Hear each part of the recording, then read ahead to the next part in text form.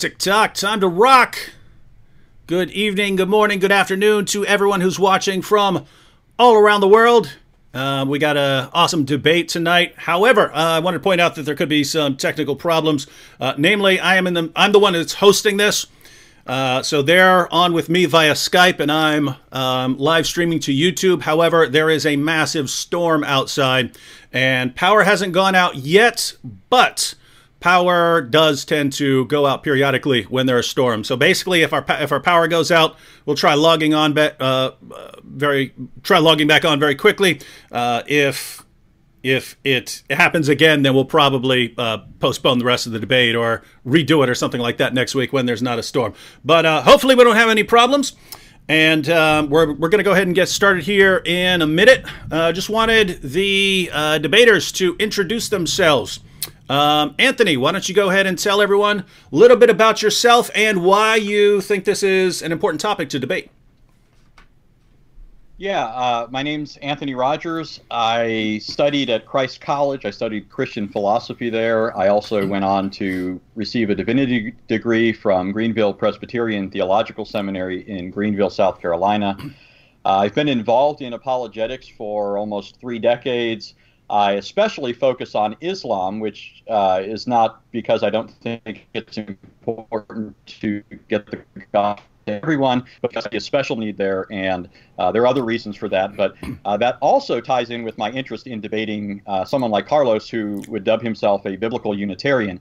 Uh, anybody who's interacted much with Muslims knows that uh, they often appeal to the work of biblical Unitarians in their efforts to oppose the, the truth of Christ.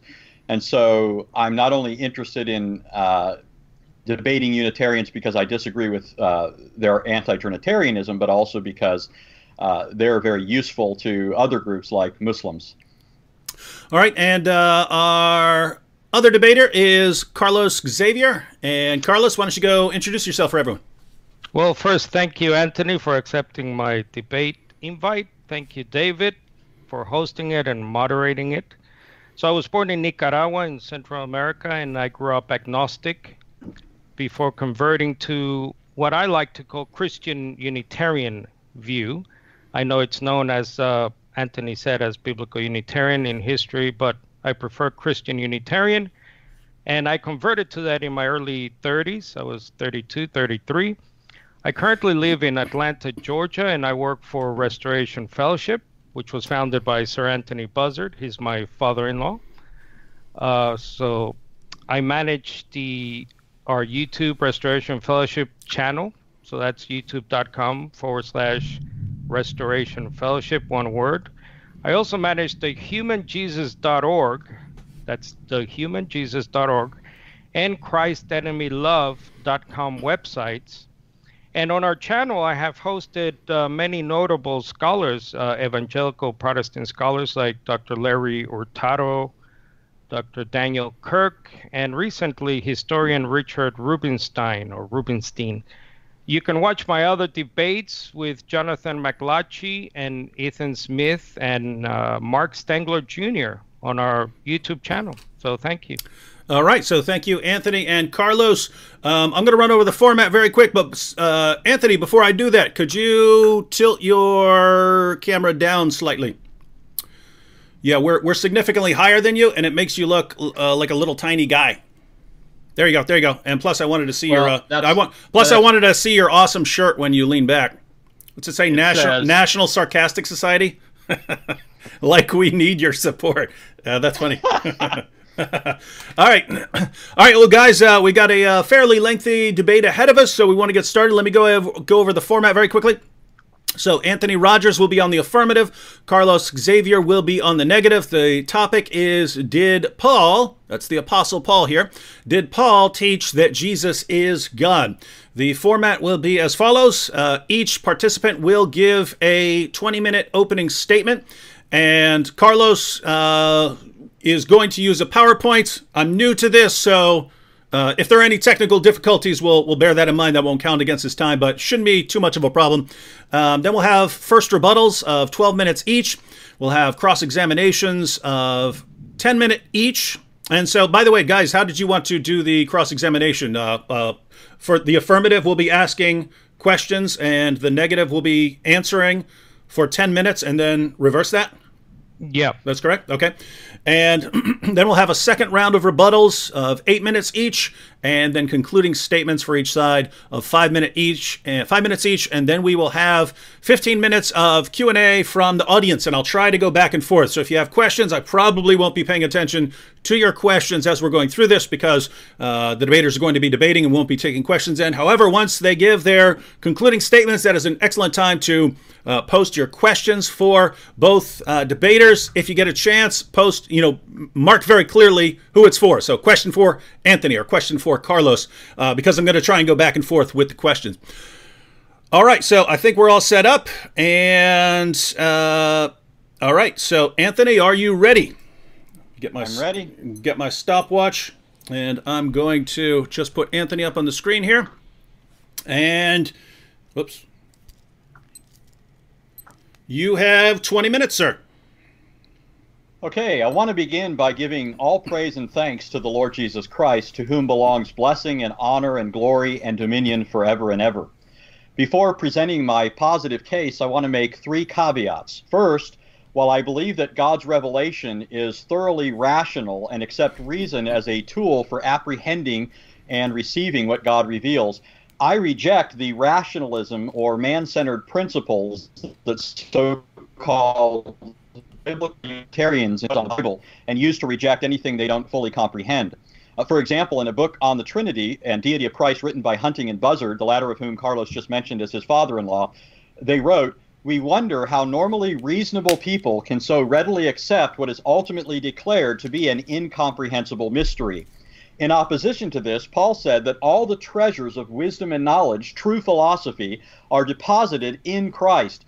And so truth is determined not by what's fully comprehensible to us, but by what conforms to the revelation of Christ, who knows all things. Accordingly, as a Christian, I heed Paul's warning see to it that no one takes you captive through hollow and deceptive philosophy, according to the tradition of men, according to the elementary principles of the world, rather than according to Christ. For in him, Paul says, all the fullness of deity dwells in bodily form, Colossians 2. In light of this, a better name for this movement would be Unitarian or autonomous Unitarianism, anything but biblical Unitarianism. Second, in arguing that Christ taught the deity of Christ, which entails that Jesus is co essential and co equal with God the Father, all the fullness of deity, I'm not arguing that Jesus is equal to what autonomous Unitarians mean by God the Father. In keeping with their rationalistic principle and rejection of anything they can't fully comprehend, historically they have taught that God as God has a body of some sort, is subject to temporal and spatial constraints, and does not have exhaustive foreknowledge of the future. Such a conception of God is patently unbiblical and idolatrous, and I'm certainly not arguing that Jesus is equal to that. Their God is not the infinite God who caused Paul to cry out, Oh, the depths of the riches, both of the wisdom and knowledge of God! How unsearchable are his judgments and unfathomable his ways. Third, in arguing that Christ is God, I'm not denying the and subordination of Jesus to the Father. I agree with Paul when he said in 1 Timothy 2:5, there's one God and one mediator between God and man, the man Christ Jesus. However, while affirming the humanity and subordination of Christ to the Father, I insist on the basis of Scripture that this is because the Lord Jesus, without ceasing to be God, Lord, Son, etc., became a man and humbled himself for the sake of redeeming mankind. Romans 1 3, the Son was made a descendant of David according to the flesh. Galatians 4 4, when the fullness of the time came, God sent forth his Son, made of a woman made under the law so that he might redeem those who were under the law. With those caveats in mind, when it comes to my positive case, interestingly enough, I'm in broad agreement with Carlos's father-in-law when he says in the book previously mentioned, quote, the Trinitarian problem must be analyzed from the perspective of Paul's strictly monotheistic Jewish background, Luke's reports of Paul's ministry, and Paul's recorded epistles, end quote. Accordingly, it's to the first of these I now. While Paul was steeped in the Old Testament scriptures, which clearly teach the oneness or unity of God, Deuteronomy 6:4, the Shema, that unity, as explicated by the Old Testament itself, is a unity of persons, as Trinitarians believe, not a unity of nothing, as Unitarians believe. This is apparent from multiple lines of evidence. For example, there are passages where God speaks self-referentially in the plural, like Genesis 1:26, "Let us make man in our image," also found in 3:22, 11:7, and Isaiah 6:8. There are also passages where others refer to God in the plural, like Genesis 20:13, where Abraham says of God, they caused me to wander. Or 35 7, they revealed themselves to him. Or Deuteronomy 4 7, they drew near, and so on. There are also passages that involve a subject object distinction in God, like Genesis 19:24, where it says, The inside Lord caused it to rain fire and brimstone from the Lord out of heaven there are passages where God speaks about God, like Isaiah 20 or uh, Exodus 24 1, where the Lord says to Moses, Come up the mountain to Yahweh. Uh, the same thing is seen in passages like Genesis 35 1, Hosea 1 7, and so on. There are also passages where God speaks of being sent by God, like Isaiah 48 16, where the first and the last says, The Lord God has sent me and his Spirit. The same thing can be seen in Zechariah 2 6 through 12. Now, the broad lines of this evidence is filled in and brought into specific focus in what the Old Testament says about three persons in particular, namely the Father, the angel of his presence, and the Holy Spirit. In Isaiah 63, for example, the redemption of Israel from Egypt is attributed to the saving activity of all three. And throughout the Old Testament, the angel and the Spirit are identified as divine persons. For example, the angel of the Lord Hebrew that does not create an angel, is explicitly identified as Yahweh in Hosea 12, 4 through 5. Quote, Jacob wrestled with the angel and overcame. He wept and sought his favor. He found him at Bethel. Even Yahweh, the God of hosts, Yahweh is his memorial name. As for the Spirit, he is likewise identified as a divine person. 2 Samuel 23, 2 through 3. David says, The Spirit of the Lord spoke by me, and his word was on my tongue. The God of Israel said, The rock of Israel spoke to me. Accordingly, when Isaiah 63 attributes Israel's redemption to the Father, the angel of his presence, and the Holy Spirit, he's speaking of three divine persons, which in turn explains why God speaks in the plural, why God's referred to in the plural, why God talks about God, refers to God, why he speaks of God sending God or being sent by God. In addition, the same Old Testament scriptures teach the deity of the Messiah who was to come. He's one of those divine persons. Isaiah 7:14, Messiah to as Emmanuel, meaning God with us. That this isn't merely a theophoric name is evident just two chapters later in Isaiah 9:6, where Messiah is identified as El Gibor, the mighty God, a phrase in Isaiah that refers to Yahweh alone, Isaiah 10:21. Later in Isaiah 40, verse 3, the coming one is referred to as Yahweh, Lord, and Eloheinu, our God. In Jeremiah 26, uh, 23 6, he's referred to as Yahweh Sidkenu, the Lord our righteousness. Malachi 3:1, he's referred to as Ha Adon, the Lord, a construction used exclusively for Yahweh. In Zechariah 12:10, Yahweh says, "They will look upon me whom they have pierced." Micah 5:2 says, "His goings forth are from of old, from the days of eternity." In Psalm 45, God says of the Messiah, "Your throne, O God, is forever and ever." In Psalm 102, he's described as the unchanging God who made heaven and earth. In Psalm 110:1 and verse 5, Messiah, who's at God's right hand, is referred to both Adoni and Adonai, the latter of which is an exclusively divine title. Moreover, as has become increasingly more apparent in the last 30 years through a close reading of ancient sources, the fact that God is multi personal and that the coming Messiah would be God in the flesh was believed by the vast majority of Jews during the Second Temple period, which has outmoded much of liberal and critical scholarship which tried to say that this was derived from Gentile pagan sources. This is why, for example, Daniel Boyarin, an Orthodox Jew and scholar of ancient Judaism, could say in his book, The Jewish Gospels, quote, the ideas of the Trinity and incarnation, or certainly the germs of those ideas, were already present among Jews before Jesus came on the scene. This is also why Jacob Neusner, one of the most well known and widely celebrated scholars of Judaism, could say on page 275 of his book, Judaisms and Their Messiahs at the Turn of the Christian Era, quote, earlier systems of Judaism resorted the Messiah as Savior and Redeemer of Israel, even a God man facing the crucial historical questions of Israel's life and resolving them. End quote. With respect then to the first issue, the Jewish monotheism that formed and informed the thinking of Paul, it was certainly not rationalistic Unitarian monotheism or anti incarnational messianism.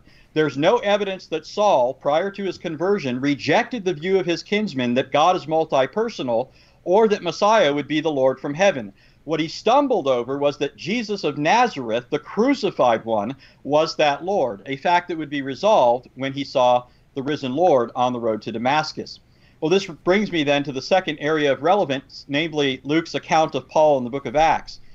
Here, there's no more significant issue than what Luke tells us about Paul's conversion in Acts 9, Acts 22, and Acts 26, when Paul came to recognize and confess Jesus as Lord calling others same saving confession. To summarize these accounts, we're told that Paul, still fuming from Stephen's statement that he saw the heavens opened, the Son of Man standing at the right hand of the Father, and crying out to Jesus in heaven as Lord, we say, we're told that Paul was on his way to Damascus when an exceedingly bright light, also called glory by Paul, suddenly flashed around him. The bright the light was brighter than the noonday sun. It knocked Paul and his companions to the ground and caused Paul to go blind. This led Paul, like Stephen, to cry out to his heavenly intruder, Who are you, Lord? In response to which he heard a voice speaking in Aramaic, the Chaldean tongue that they came to speak while in exile I am Jesus of Nazareth, whom you're persecuting. This was quickly followed by words of divine commissioning Get up and stand on your feet, for this purpose I have appeared to you.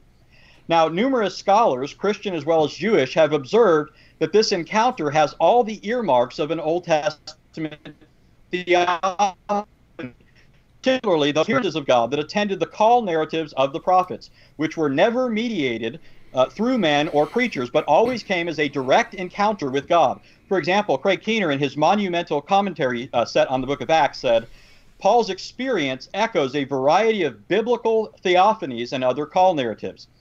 Now, the call narrative and uh, theophany that most resembles Paul's experience here is most instructive. Ezekiel 1 through 2 tells us that Ezekiel, at his call, while among the Jewish exiles in Chaldea, the land where they came to speak Aramaic, saw the heavens opened and saw the figure of a man, also referred to as the glory, the glory of the Lord and the God of Israel, from whose presence a bright light flashed forth continually and all around.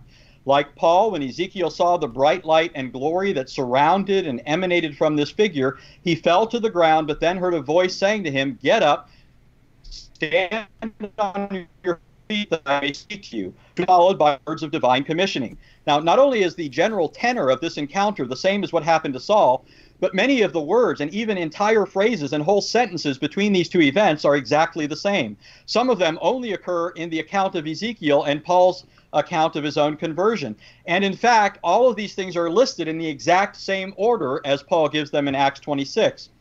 The scholar Gilles Quispel was certainly right when he wrote in an essay on Ezekiel 126 For those familiar with the meaning and purpose of such hints in ancient literature, there cannot be the slightest doubt that the author of Acts is paralleling the vocation of Ezekiel and the vocation of St. Paul. Just as the glory appeared to the prophet in Babylonia, so the glory appeared to Saul near Damascus. Jewish scholar Alan Segal, in his book, Paul the Convert The Apostolate and Apostasy of Saul the Pharisee, admits the same thing, as do many others. The upshot is simply this as a Hebrews at the feet of Gamaliel, Paul was certainly familiar with such things. The parallels would not have been lost on Paul, who got his categories and modes of thought from the Bible, not the Talmud or medieval rabbis or 16th century Socinian or biblical Unitarian rationalists. This brings me finally to Paul's own writings, where we find exactly what we would expect given all that we've already heard.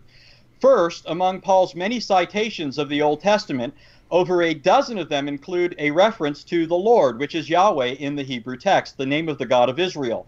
Significantly, Paul applies half of these references to the Father and the other half to the Lord Jesus Christ. For example, in Romans 10, Paul says, uh, one is saved by confessing Jesus as Lord, and he goes on to say, For whoever shall call upon the name of the Lord will be saved. This is a quotation of Joel 2:32 where the word for Lord is Yahweh. In Romans 14:11, after saying that Jesus and that all men will answer to him, he goes on to quote Isaiah 45:23, "As I live, says the Lord, every knee will bow to me." The same passage is applied again to Jesus in Philippians 2:10.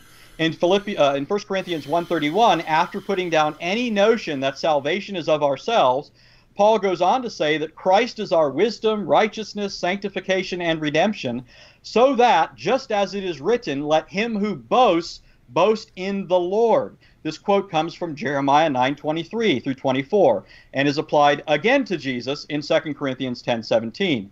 In second, uh, in 1 Corinthians 2, Paul quotes Isaiah 40 when arguing that believers have the mind of the Lord, that is, the mind of Christ.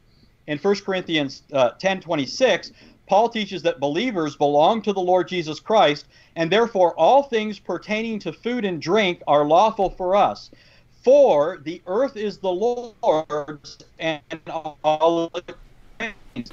Quotation 24:1, which says, The earth is the Lord's, Yahweh, and all it contains. I could go on with this, but uh, my second point from Paul's teaching is that in addition to Old Testament Yahweh texts applied to Jesus, there are reoccurring stock in trade phrases for Yahweh found in the Old Testament that every Jew would have been familiar with, and in every case, Paul uses them for Jesus and Jesus alone.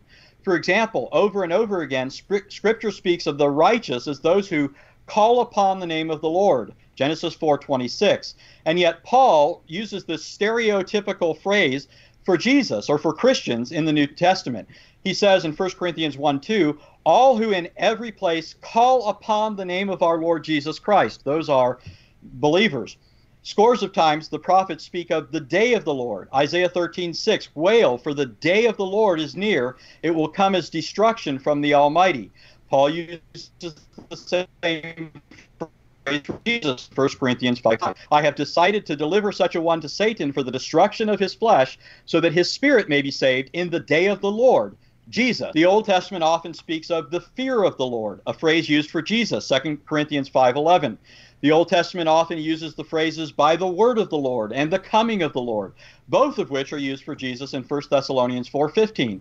For this we say to you by the word of the Lord that we who are alive and remain until the coming of the Lord will not precede those who have fallen asleep. Again, I could give several more examples of this, really 3 dozen more examples all used exclusively for Jesus. But here's the upshot this is exactly what we would expect to find if Paul taught and believe that Jesus is Yahweh, and not at all what we would expect if Paul were a post Christian rationalistic Unitarian. Third, if that's not bad enough, consider the following. If we set aside all this evidence, as Carlos is going to try and uh, do in a moment, we have to ask, where is the one Lord of the Shema of Israel in the writings of Paul? If you follow Carlos and other biblical Unitarians, then you can't point to Old Testament Lord texts used for the Father because they're also used for Jesus. And if they don't prove that Jesus is Lord in the Old Testament sense, they also can't be used to prove that the Father is the one Lord. What's sauce for the goose is sauce for the gander. You can't logically infer from the same evidence two opposite conclusions without being arbitrary and violating basic canons of logic. This means, in order to answer the question with Carlos, you'd have to look outside of Old Testament Lord texts. But the problem here is that the Father is never called Lord outside of the six times Paul cites the Old Testament. All of the stock and trade Yahweh phrases used by Paul, like those I just mentioned, are used for Jesus. And all of the hundreds of other times that Paul uses the term Lord, it's always, always, always for Jesus. In fact, the only time Paul uses the expression one Lord, Kyrios Heis, the, the very language of the Shema is in 1 Corinthians 8 6. For us there is one Lord, Jesus Christ, through whom are all things. Or Ephesians 4 5 in reference to Jesus, one Lord, one faith, one baptism. Once again, this is exactly what we would expect to find if Paul taught that Jesus is Yahweh, God, and not at all what we would expect if Paul was a forerunner and advocate of autonomous Unitarianism. Fourth, if Paul taught that Jesus is Yahweh, then we would expect him to ascribe to Jesus the attributes, works, and worship that belong to God alone. And he certainly did. In Colossians 1:17, Paul ascribes eternity to Jesus. He is before all things, Paul says. And because Jesus is eternal, Paul could say that Jesus was with the Israelites in the wilderness, 1 Corinthians 10. Jesus is from heaven, 1 Corinthians 15. He first descended from heaven to earth before he ascended the heavens if he he was rich but for our sake became poor 2 corinthians 8 and while existing in the form of god and being equal with god he took the form of a servant a bondservant and was made in the likeness of men philippians 2 Moreover, as the eternally pre-existent Lord, Paul also says that all things were created in him, through him, and for him. Colossians 1.16, 1 Corinthians 8.6. One minute. And that he is the providential sustainer of all things. In him all things hold together. Colossians 1.17. The same thing Paul says about the Father in Acts 17. And because all of this is true, it's fitting that Paul would offer up religious service and worship to Christ as Lord. In Colossians 3:17, Paul said, "Whatever you do in word or deed, do all in the name of the Lord Jesus." In Romans 14, Colossians 3:23, Paul says, "Whether we eat or drink, observe this day or that, uh, whether we live or die, we are to do it all for the Lord Jesus." Also prayed to Christ. 2 Corinthians 12, 1 Thessalonians 3, 2 Thessalonians 2, 1 Timothy 1. He instructed believers to sing psalms, hymns, and spiritual songs to the Lord Jesus in Ephesians 5. In addition, and I conclude with this, Paul also offers up doxologies to Christ, a Jewish religious practice reserved for Yahweh alone. 2 Timothy 4:18 the Lord, Jesus, that is, the Lord will rescue me from every evil deed and will bring me safely to his heavenly kingdom. To him be the glory forever and ever. Amen. All right, Anthony, I didn't want you to I didn't want to cut you off in the middle of that verse, but you went about 18 seconds over, so I will award an 18 second uh, window at the end there for uh, Carlos as well. Um, you were breaking up periodically, but we got we got most of your statement, uh, Anthony. Uh, so the main question is: Is that uh, going from my computer to YouTube, where we have an interruption, possibly due to a storm, or is it on your end? We will find out as we bring up Carlos. Now, Carlos, you wanted to use a PowerPoint, yes. correct? Let me try this. All right. And you guys tell me. All right, let me get you on here, right here. Now, do you, you do you want your PowerPoint up instead of you? Yes, please. Thank okay, you. and if you finish it and you want me to turn that off, just go ahead and let me know. And all right. All right. Well, yep, I've got your PowerPoint up. So you, I will start your time whenever you start speaking. All right. Thank you. For Paul, God is the Father. In the New Testament, the word God is the Father or equals the Father 99.5% of the time according to my Bible Work software. So it's no surprise to see that for Paul, the word God corresponds to the Father at least 40 times throughout his letter. These appear most prominently and famously in the form of greetings, doxologies, and benedictions. 1 Corinthians 1 3. Grace to you and peace from God our Father and the Lord Jesus Christ.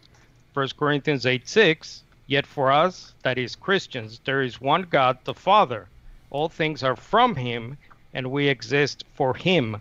Many see behind verses like 1 Corinthians 8 6 an allusion to the Jewish unitary creed known as the Shema, which means hear or obey, from Deuteronomy 6 4. Hear, O Israel, the Lord, that is Yahweh, our God, or Jehovah, is one Lord. A personal name indicates one person, one individual, the Father here. So Yahweh is not just a title, but a personal divine name. And as we all know, a personal name indicates one person. Isaiah 64 8. But now, Yahweh, you are our Father. We are the clay, you are our potter. We all are the work of your hand. So for Paul, Jewish monotheism is not Trinitarian because the deity of Jesus is inherently un-Jewish, as Protestant scholar Maurice Casey notes here. The witness of uh, Jewish New Testament tech, uh, Jewish text is unvarying, he says. Belief that a second being is God involves departure from the Jewish community. Note how the Amplified Bible translates Galatians 3:20, for example, yet God is only one person and he was the sole party in giving that promise to Abraham. That's because whenever the Greek word for one is or hais, I'm using the modern Greek uh, pronunciation by the way, is appears in reference to theos, the word God, or kyrios, the word Lord, it means one person. The same is true for the Hebrew word echad when used with the divine name or its counterpart Adonai, or even the title Elohim, the, the Hebrew word for God, for the one God of Israel. Point number two Jesus, for Paul, Jesus is the human Son of God. Paul is always contrasting the first created human with the second procreated human being.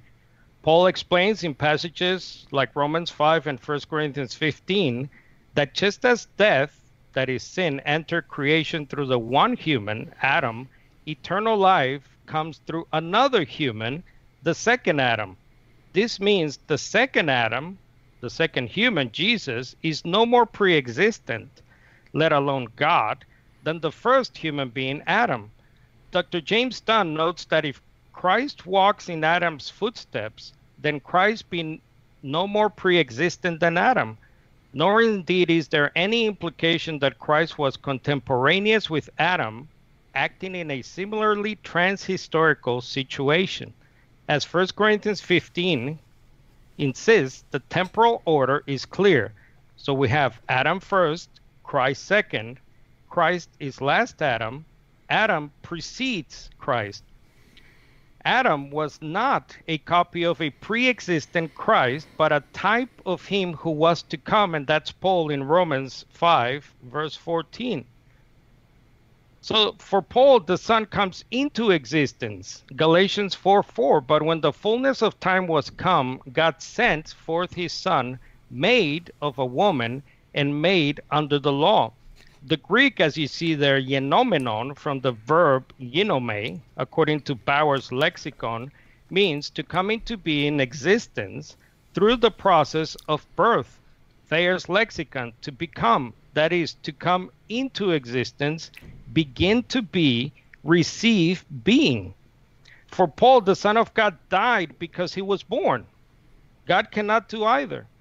Romans 5:10 once says Paul we were God's enemies but we have been brought back to him because his son has died for us. And however you want to define death, God simply cannot do it. Habakkuk the prophet, Habakkuk, I mean uh, chapter 1 verse 12, are you not from antiquity ancient times, O Lord, that is Yahweh Jehovah, my God, my holy sovereign, you will not die. Paul echoes the prophet in 1 Timothy 6:16. God is the only one who never dies. Point number 3. For Paul, Jesus is not God. A strong argument is not called God. A strong argument can be made that Paul never even applies the term God to Jesus. That's because all of the so-called proof texts contain textual problems or flat out corruptions. These indis- indisputable facts have been noted by many Catholic and Protestant scholars throughout the centuries. The Catholic priest Dutch humanist Erasmus, most famous for exposing the so called Johannine corruption in 1 John 5, by the way, says that nowhere in Scripture is Christ called true God it is no less absurd to say the Son is the Father because God refers to the Father, that is the Word God. Likewise, Paul says God and Father, Galatians 1, Philippians 4, pointing out one person who is both God and the Father of our Lord Jesus Christ. Isaac Newton, called by many the greatest scientific genius the world has known, in private letters sent to uh, philosopher John Locke, who was another closet non Trinitarian, by the way, details findings of more than 20 passages worth of corruptions and textual problems in the New Testament. The Swiss Protestant textual scholar Johann Wettstein was the first to expose the corruption at 1 Timothy 3:16, where the word he as you see here, he was manifested in the in the flesh, was changed to read God was manifest in the flesh.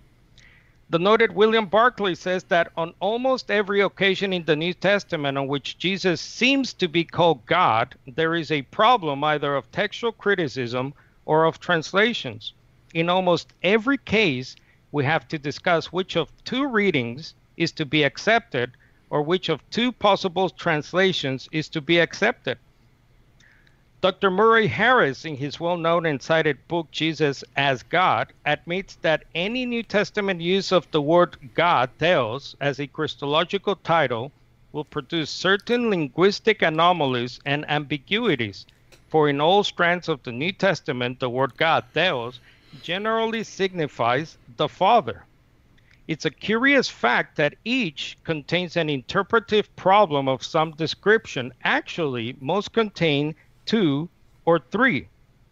Dr. Harris adds that each of the disputed God texts contains either a, a, problem having to do with punctuation, as it's the case in Romans 9:5, or textual grammatical problems, 2 Thessalonians 1.12, Titus 2.13. British scholar, once again, Dr. James Dunn, adds that such verses either depend on contentious or little supported readings of the text or are later. Uh, his list includes problems, quote unquote, that involve Galatians 2.20, Colossians 2.2, 2 Thessalonians, again, 1.12, and later manuscript problems like, again, in Titus 2.13. British scholar Dr. James Dunn adds uh, lists, sorry, uh, textual problems, as you see there. So he adds that at the same time, we should, at the same time, uh, sorry, we should recall the strong monotheistic affirmations in the pastorals, the letters of Paul, for example, 1 Timothy 1:17. Now to the King eternal, the eternal King, immortal, invisible, the only God, be honor and glory forever and ever. Amen. 1 Timothy 2 5 For there is one God and one be- mediator between God and humanity, Christ Jesus, himself human. Note the allusion in these verses to Psalm 110, verse 1, where the one God is Yahweh or Jehovah, and the one mediator is the human Messiah, as we will see. My last point for Paul, Jesus is the Lord Messiah, not the Lord God. Paul uses the title Lord, Kyrios, in reference to Christ, Christos, more than 200 times. This means Jesus' lordship is synonymous with his being the anointed Messiah Lord and not the Lord God. After all, Paul cannot possibly be teaching that Jesus is the anointed Messiah Yahweh, God in the ultimate sense. That would be nonsensical and make one Yahweh too many according to the Shema.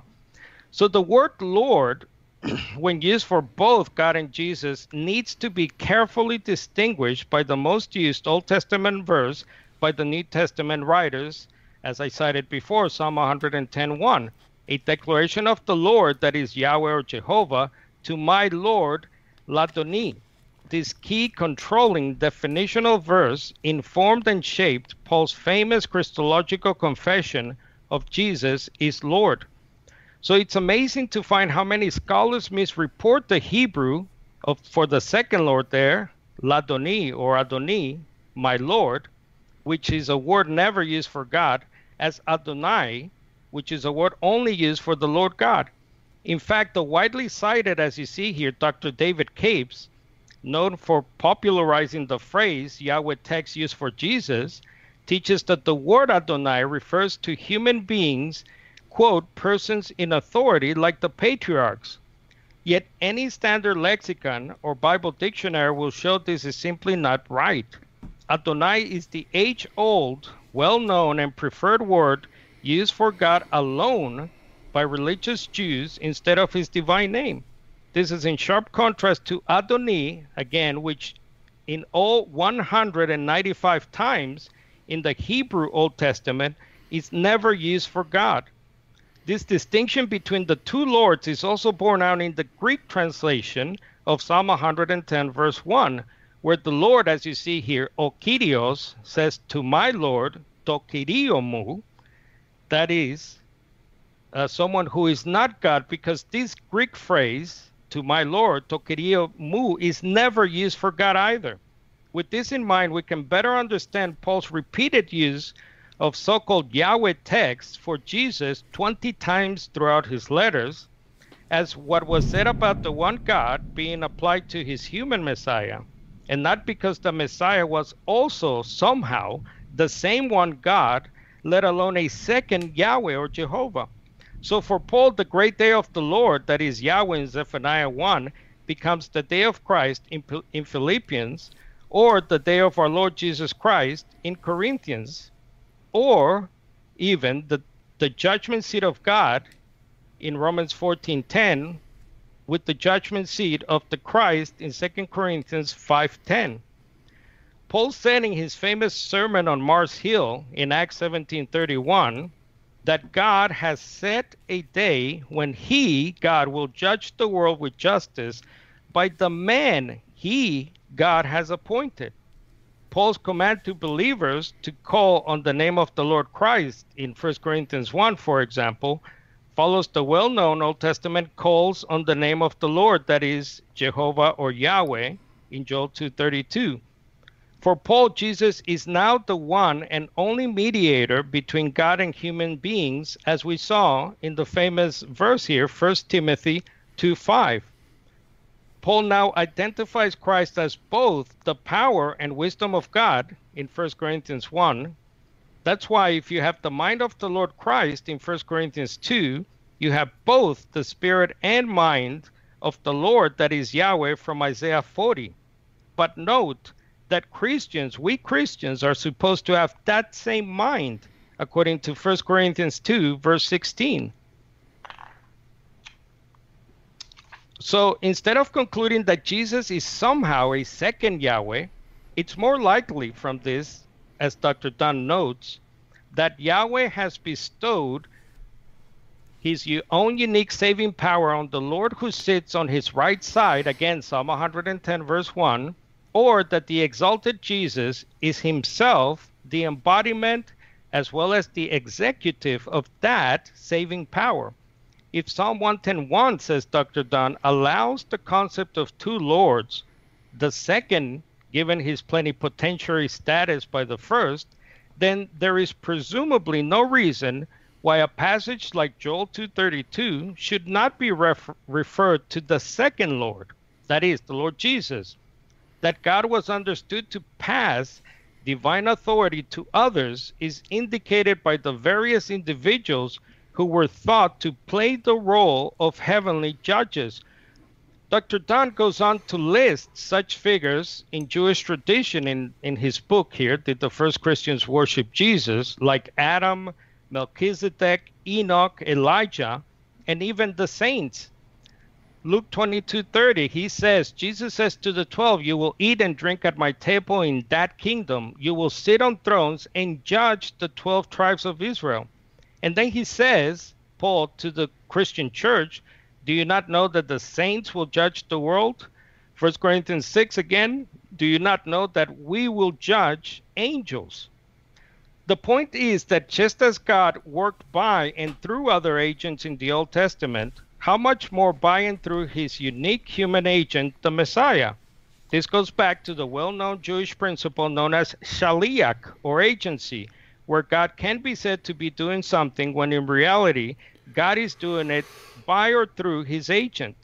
According to the IVP Bible Background Commentary on the New Testament, Jewish law taught that the man's agent was as a man himself, backed by his full authority, to the extent that the agent faithfully represented him. Moses and the Old Testament prophets were sometimes viewed as God's agents. But of course, unlike all of them, Jesus was the uniquely begotten, perfect agent of God. After all, the messianic prophecies referred to him as the firstborn, high above the kings of the earth in Psalm 89 27. So, to summarize, point number one for Paul, God is the Father, just as in the rest of the New Testament. These are matters of undeniable fact. Point number two for Paul, Jesus is the human Son of God and not God the Son. Paul repeatedly contrasts the Son with the first human, Adam, who was created and died. And we know that God cannot do either of these things. Point three for Paul, Jesus is not even called God. Many notable Trinitarian scholars have admitted over the centuries that all verses where Paul seems to call Jesus God contain grammatical errors or corruption to the text. And lastly, for Paul, Jesus is the Lord Messiah, not the Lord God. Paul time and again contrasts the one Lord God, that is the Father, with his human son, the Lord Messiah, Christ Jesus. Paul's understanding was educated by one of the most used Old Testament verses, Psalm 110, verse 1 the Hebrew and Greek carefully distinguish between the first Yahweh or Jehovah Lord and the second Lord Adoni. Again, a word never used for God. Paul could Paul could apply so-called Yahweh text to Jesus because he full well understood Jesus to be the promised Messiah, the prophet from Deuteronomy 18. That is God's supreme, unique, and only perfect agent. As Paul puts it, in 2 Corinthians 5:19, God was in Christ, not that God was Christ. For Paul, the Father will always be the God of the Son, so that, as Paul says, with one mind, in one voice, you Christians all over the world may glorify the God and Father of our Lord Jesus Christ. Also see 2 Corinthians 1, Colossians 1, and Ephesians chapter 1. Thank you. All right. Well, uh, Carlos finished a little over a minute early. Um, so, as opposed to Anthony, who rudely uses extra time. Um, uh, all right, Anthony, are you ready for your first rebuttal? And for everyone who's just tuning in now, we're in the middle of a debate on the topic Did Paul teach that Jesus is God. Um, our participants have given their opening statements. Anthony Rogers on the affirmative, Carlos Xavier on the negative. We just finished up the opening statements. We're now going to go into our first round of rebuttals before going on to uh, the cross examination. So, you all set, Anthony? Uh, turn your microphone on, Anthony. yeah, that will help. First, he tells me to turn it off, then he tells me Oh, you are still you you are still breaking up some there. Um, um not well, no, I'm just saying that so that people don't try to inform me that you're breaking up. Um, that just happens. We've we've been doing this for a couple years now, live streams, and sometimes in an area you've just got uh, internet connection uh, issues. If a bunch of people are going online and watching YouTube because it's Friday and they just got off work and stuff like that. Uh, this matter of fact, if I recall correctly, Friday is when this happened most frequently in the past um, to have internet problems. But it's just good to know that it's on your end and not on my end because if we're on my end, then I would be I would be, be, trying to figure out what I could do about it later, but that means you'll have to do it. So anyway, uh, Anthony's having a slight uh, internet connectivity problem on his end. Basically, he goes for a while and then we'll start searing a little bit garbled, but that's just life. So we got to roll with it. We're in the middle of a debate here. All right, so Anthony, you ready to go ahead and get started? I am. You want me to go? Uh, yep, whenever you're ready. Okay, uh, Carlos's first argument in his opening presentation is that God is the Father, according to Paul. Of course, that's not something I disagree with, but Carlos, of course, means something more than that. He says that God for Paul is only the Father, something I don't think Carlos can prove, and I don't think that he did prove. He cites 1 Corinthians 1 3 uh, as an example of this because it says, Grace to you and peace from God our Father and the Lord Jesus Christ. What he fails to notice or draw attention to, or at least sufficiently appreciate, is that Paul not only refers to the Father as God, an Old Testament title for deity, but to Jesus as Lord, another divine title. Now, Carlos, of course, wants to water down the implications or significance of that title to mean merely that Jesus is some kind of human Lord and not the divine I'll have various answers as I go through my uh, response. But notice in 1 Corinthians 1 3, we already have clear evidence of that. When Paul says, Grace to you and peace from God our Father and the Lord Jesus Christ, notice that he says these two divine blessings, these saving blessings, grace and peace, come to us alike from Father and Son, God and Lord. And, and notice it's not that simply that uh, grace and peace come to us from the Father through the Son. Paul conjoins both and speaks of both alike as the source of that saving grace and peace that comes to believers. Clearly, Paul is not referring to Jesus as Lord here in any sense less than its full significance as found in the Old Testament, where it refers to deity.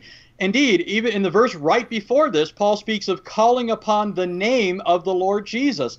Another indication that he's using the term Lord here in the sense of Yahweh. That's how it's used throughout the Old Testament. Call upon the name. This is also the chapter where Paul goes on to apply a Yahweh text to Jesus in 1 Corinthians 1:31 when he says that we're to boast only in the Lord, the Lord Jesus, a quotation of the Old Testament where Lord there refers to Yahweh he says that uh, the idea of the deity of Jesus is inherently un-Jewish. He quoted somebody uh, to that effect. But as I pointed out, scholarship today has moved in completely the opposite direction, most significantly, Jewish scholarship. I quoted Jewish scholars like Daniel Boyarin, an Orthodox Jew, a Talmudic scholar, referring not to post Christian Judaism, which is really uh, what the scholars that he's quoting are referring to. They're looking at post Christian Jews and anachronistically reading their uh, suppression of earlier Judaism back into the first century. But as Daniel Boyarin and Neusner both point out, ancient Jews believed in the pluralitarian or multi personal nature of God and in the deity of the coming Messiah. I'll be interested to hear responses that I gave uh, when he comes to his rebuttal. He also said that God is one person. Here he quotes Galatians 3:20, spe- uh, specifically in the amplified version, by the way, which I find somewhat laughable. First of all, I think the amplified version is uh, a mess. It leaves uh, room for people to pick any term they want uh, to plug in, and so uh, it really isn't proving anything. Uh, but more than that, I mean, the updated version of the Amplified drops the phrase God is one person because that's not there in the Greek text. It does not say God is one person. Uh, in fact, uh, that's not even the point that Paul is making. Paul is referring to mediation there, not identification. But moreover, in connection with this, Carlos said that the Greek word "haste" for one, God is one in Galatians 3:20, uh, uh, always means one person. False. That's complete uh, nonsense. In Galatians 3:28, Paul says, "There's neither Jew nor Greek, there's neither slave nor free man, there's neither male nor female, for you are all one in Christ Jesus." Clearly, we are not one person in Christ Jesus. Uh, he goes on to say that Jesus is the uh, human son, according to Paul. He quotes Romans 5 here, where the son is the second Adam. But Paul is not saying that Jesus is the Son by virtue of being the second Adam. That's completely uh, turning things on its head.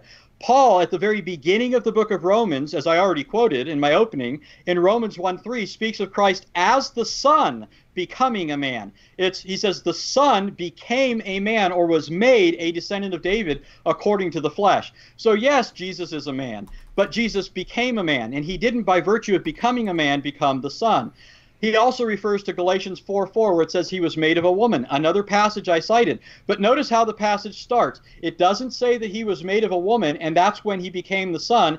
It says that in the fullness of time, God sent son is, is really strong here. Ex apostellein. It means to send out from himself. He sent out from himself the son who was made of a woman, made under the law. Just two verses later, he says the same thing of the Holy Spirit. He says God sent out or sent forth the Spirit of his Son into our hearts, whereby we cry, Abba, Father. That doesn't mean the Spirit became or came into existence once he was in our hearts. It, uh, it clearly refers to the fact that the Spirit existed prior to being sent forth into our hearts. Uh, he quoted Romans 15, uh, same kind of reasoning where it speaks of Christ as the second Adam. Here it's referring to the fact that Christ, now bearing our nature, has come to fulfill as a man what Adam failed to do. He's not saying that Jesus became the Son by virtue of becoming a human being. Ditto for passages like Romans uh, 5:10. Well, here he says that uh, Jesus died, and clearly he can't be God because of that. Uh, but that just completely misses the incarnation. Obviously, God is God, cannot die. The Son became or was made a human being. He was made a descendant of David. He was made of a woman. And because of that, he could die. In fact, Paul says in 1 Corinthians 2 8, the very opposite of what Carlos said. Paul says there, if they had known, they would not have crucified, killed, the Lord of glory, a title that clearly identifies Jesus as Yahweh. In fact, it comes from Psalm 24, where the Lord or King of glory is Yahweh. The very first verse of that psalm, where it says the earth is the Lord's and all it contains, is applied to Jesus as well in 1 Corinthians 10. So none of these arguments that Carlos is making come within a mile or even a million miles of refuting the true deity of Jesus Christ.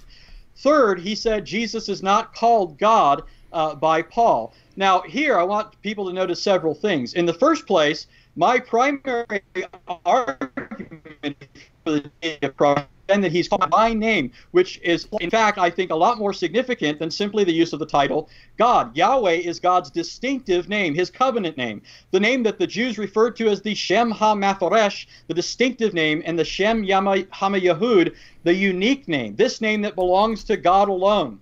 Jesus being called Yahweh cuts through all the uh, uh, worthless arguments that God can be used in all kinds of different senses. Yahweh is used for the true God alone, and Jesus is identified as Yahweh throughout the, the New Testament, throughout the writings of Paul. But here he says Jesus is not called God. That word isn't used for him. What he's trying to do is refute passages I didn't even bring up, which I find somewhat humorous because it gives me an opportunity to, to appeal to them. In Romans 9 5, Paul says that Christ is from Israel according to the flesh. And then he goes on to say, He is God over all forever praised. Course, there's a textual problem here, but Carlos said that this is one of those passages uh, where there, you know, uh, uh, uh, textual issues abound. No, there's no textual problem here. Uh, the text is firm. What people dispute is the translation. I maintain the uh, standard translation: Christ is God over all, who's forever praised. It's consistent with the context. It's consistent with the fact that Paul says that according to the flesh, he's descended from Israel, which leaves, uh, you know, opens the question. Well, in what sense is he not uh, uh, uh, from Israel? Why does he say according to the flesh? Well, the answer is, as the verse goes on to say, he's God over all. Uh, but again, I didn't appeal to that passage. I also didn't appeal to Titus 2:13, uh, where you know the, the translation, all standard. you know, there, there might, people still want to argue these points. Uh, but the standard view is that that's a classic TSKS construction in Greek. You have two nouns joined by the Greek word kai, only the first of which is preceded by the, the definite article, which means to one I'm referring to in Titus 2:13 is the statement, uh, you know, uh, that we're waiting for the blessed hope and the appearing of the glory of our great God and Savior Jesus Christ. These are two passages I do believe Paul applies to Jesus, but those aren't uh, passages I appeal to in my opening statement. Those are passages Carlos apparently has, uh, you know, a guilty conscience on and, and feels he needs to deal with. Uh, you know, and, and, for whatever you know uh, reason, he spent most of his time here attacking uh, the uh, you know the, the, scriptures, talking about their corruption. Uh, I do agree that there are uh, copyist errors, but this is all taken care of by comparing and collating manuscripts through the science of textual criticism. I don't believe we've lost the text of Scripture. We can't know what the text of Scripture is. But if I were a rationalistic Unitarian, I'd certainly want to charge the Scriptures with corruptions because they call Christ God. Uh, you know, he mentioned Isaac Newton, the greatest scientist, uh, you know, mentioning these things. Well, apparently he was a great not a great exegeter. Uh, he mentioned 1 Timothy 1.17, where it says God can't die. I quite agree. God can't die. But assume God took on a human nature. Could he die then? Absolutely. Could death keep its hold on him? Absolutely not. And that's what the scriptures teach concerning Christ. Uh, and that's what Paul taught concerning Christ. Uh, he said that Jesus is the Lord Messiah, and he, and he bases this on Psalm 110. I agree Jesus is the Lord Messiah, but that doesn't mean, you know, a human Lord Messiah. Uh, he said Psalm 110 is the key controlling definitional verse for Paul. Uh, and, and, he said that the word for Lord there in the second instance is Adoni and never refers to a divine person. That is, Yahweh said to my Adoni. He's simply wrong. First of all, the Hebrew word is Adon, uh, the, the word e at the end, the yod, is simply a first person uh, suffix meaning my. So the name there is Adon, and it's used for God at least 30 times in the Old Testament. Even if you want to restrict yourself, uh, if, if we want to restrict ourselves to the uses of is a term used for God. One Joshua minute. 5, he uses it for the Sar Sava Yahweh, the captain of the Lord's host, whom is the same person that appeared to Moses in Exodus 3, who said, The place on which you're standing is holy ground. This is clear from the fact that uh, Joshua 6 2, he refers to him as Yahweh and Adoni. There are also Israelite names that use the word Adoni in reference to Yahweh. 2 Samuel 3 4, there's Adonijah. Adoni, Yah, meaning Adoni is my Yah, my uh, Yahweh. Uh, worst of all, the one called Adoni in Psalm 110.1 is called Adonai in Psalm 110.5, an exclusive title for deity. The same person at Yahweh's right hand in Psalm 110.1 is, uh, and referred to as Adoni is referred to as Adonai in Psalm 110.5. He said this is the controlling text and, and the, uh, the text through which we should interpret Paul. Okay, let's do so. If, if the psalmist says that uh, the one at Yahweh's right hand is Adonai 110.5, then he's a divine person, and there should read And I'll conclude with that. All right, thank you, Anthony. You once again went f- this time four seconds over, so you're still going over, but uh, you're getting better. You're in. The, you're heading in the right direction. Um, all right, uh, let's see, Carlos, you got your mic turned back on.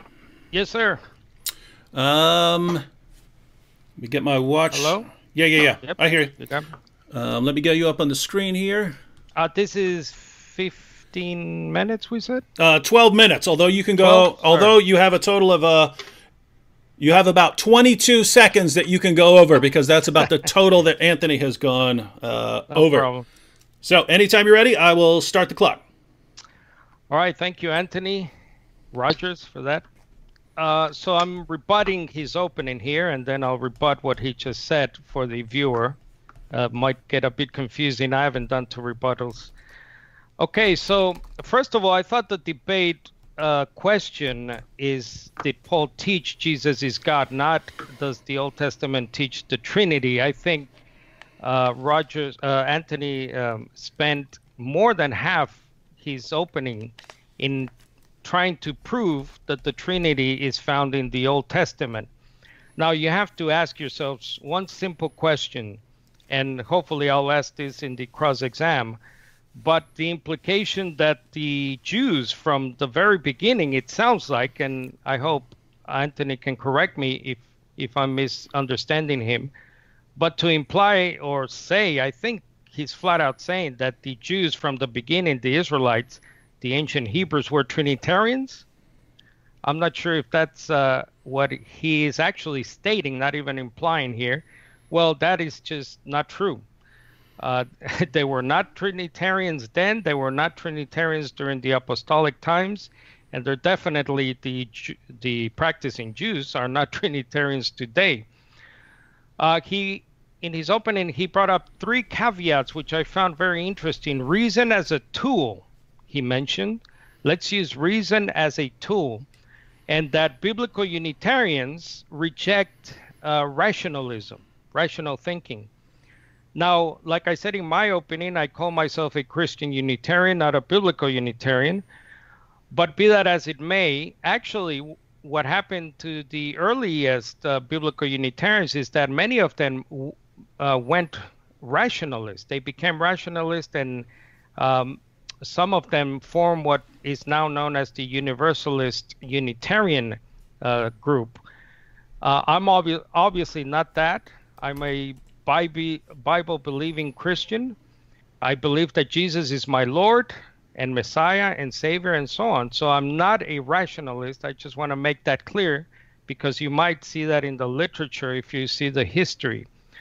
Uh, he quoted from my uh, father in law's uh, book, The Doctrine of the Trinity, which I highly recommend. So thanks for the plug.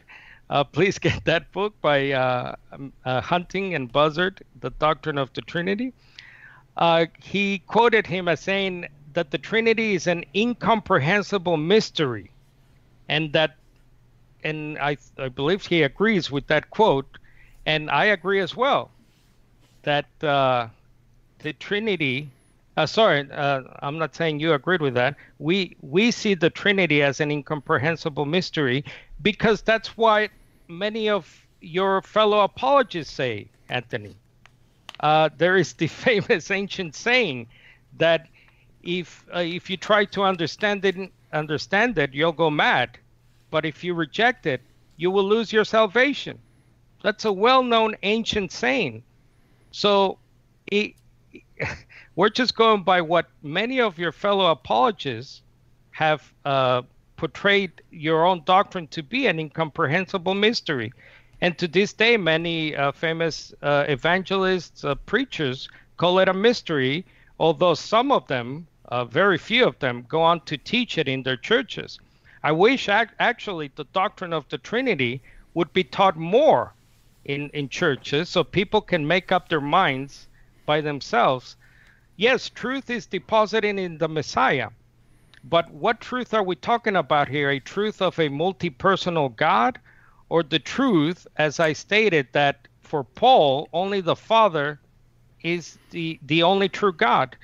Um, uh, Anthony brought up Colossians 2 9, the deity, uh, the fullness of deity dwells bodily in the, or in the body of the Messiah.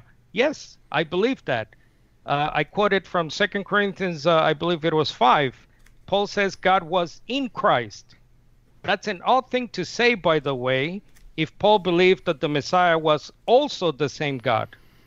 Again, we go back to the incomprehensible uh, unreasonableness of the doctrine of the Trinity.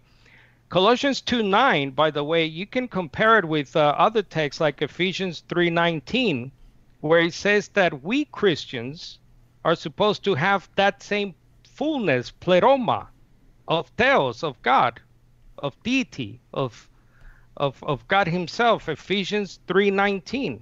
I'll just bring it up here. So that you, says Paul to the Christians, may be filled to the measure of all the fullness of God, of deity. It's the same thing. So are we somehow part of this uh, multi-personal Godhead? Obviously not. We are in a spiritual sense, if you want to talk about that. Jesus, obviously, in uh, the Gospel of John, talks about all of us being one with the Father and the Son through the Spirit.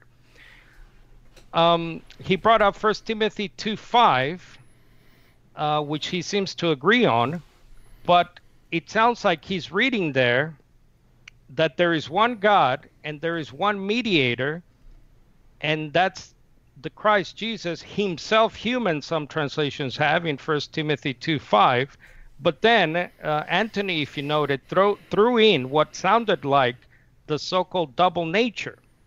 That it doesn't mean he's just human; it also means he's God. I mean, that's an addition to the text. Uh, the so-called double nature or hypostatic union, as it's called, is nowhere taught in Scripture. Jesus is one person, one being, one self, one individual. Nowhere is it taught he had two natures uh, or, or, or anything even remotely close to it. He talks about Deuteronomy 6 4, the famous Shema that Paul quotes or alludes to in 1 Corinthians 8 6. And he said that there it's it's supposed to be a unity of persons, not about uh, not nothing. I think he said, quote nothing. That's not what I believe. I believe that the Shema, like Jesus, is describing one singular self, one individual who he calls time and again the Father uh, as the only God, as the Ehad, the one Lord, the one Yahweh. Uh, so you can again go back to my first point where I made the very clear teaching from Paul that Paul believed God to be the father of the Shema. That's not nothing. That is someone uh, he brought up Genesis 126. I, I've heard of uh, do this a lot, and Genesis 1924, Yahweh from Yahweh, and so on. But again, this is a debate about whether or not Paul taught that Jesus is God, not whether the Old Testament teaches the Trinity. Be that as it may, you'll find, by the way, in modern scholarship, that the let us, the so-called let us argument of Genesis 126, most reputable as far as I know, scholars have uh, have done away with that. They cannot defend that any longer. And same with the so-called Yahweh rained fire down from Yahweh from heaven. They don't use that anymore. Um, let's see, Jews. So again, were Jews Trinitarians? So Paul was a Trinitarian, and that's a question uh, I hope to get to. Uh, he brought up uh, Jewish scholar Neusner, Yaakov, I believe it's Yaakov Neusner. Uh, yes, there are many, uh, I'm sure there are many more Jewish scholars today that that teach some form of a multi-personal Yahweh or Jehovah, but this is uh, nothing uh, unusual. In Judaism, in ancient Judaism, you had a uh, many Jews who believed in the so-called two powers in heaven.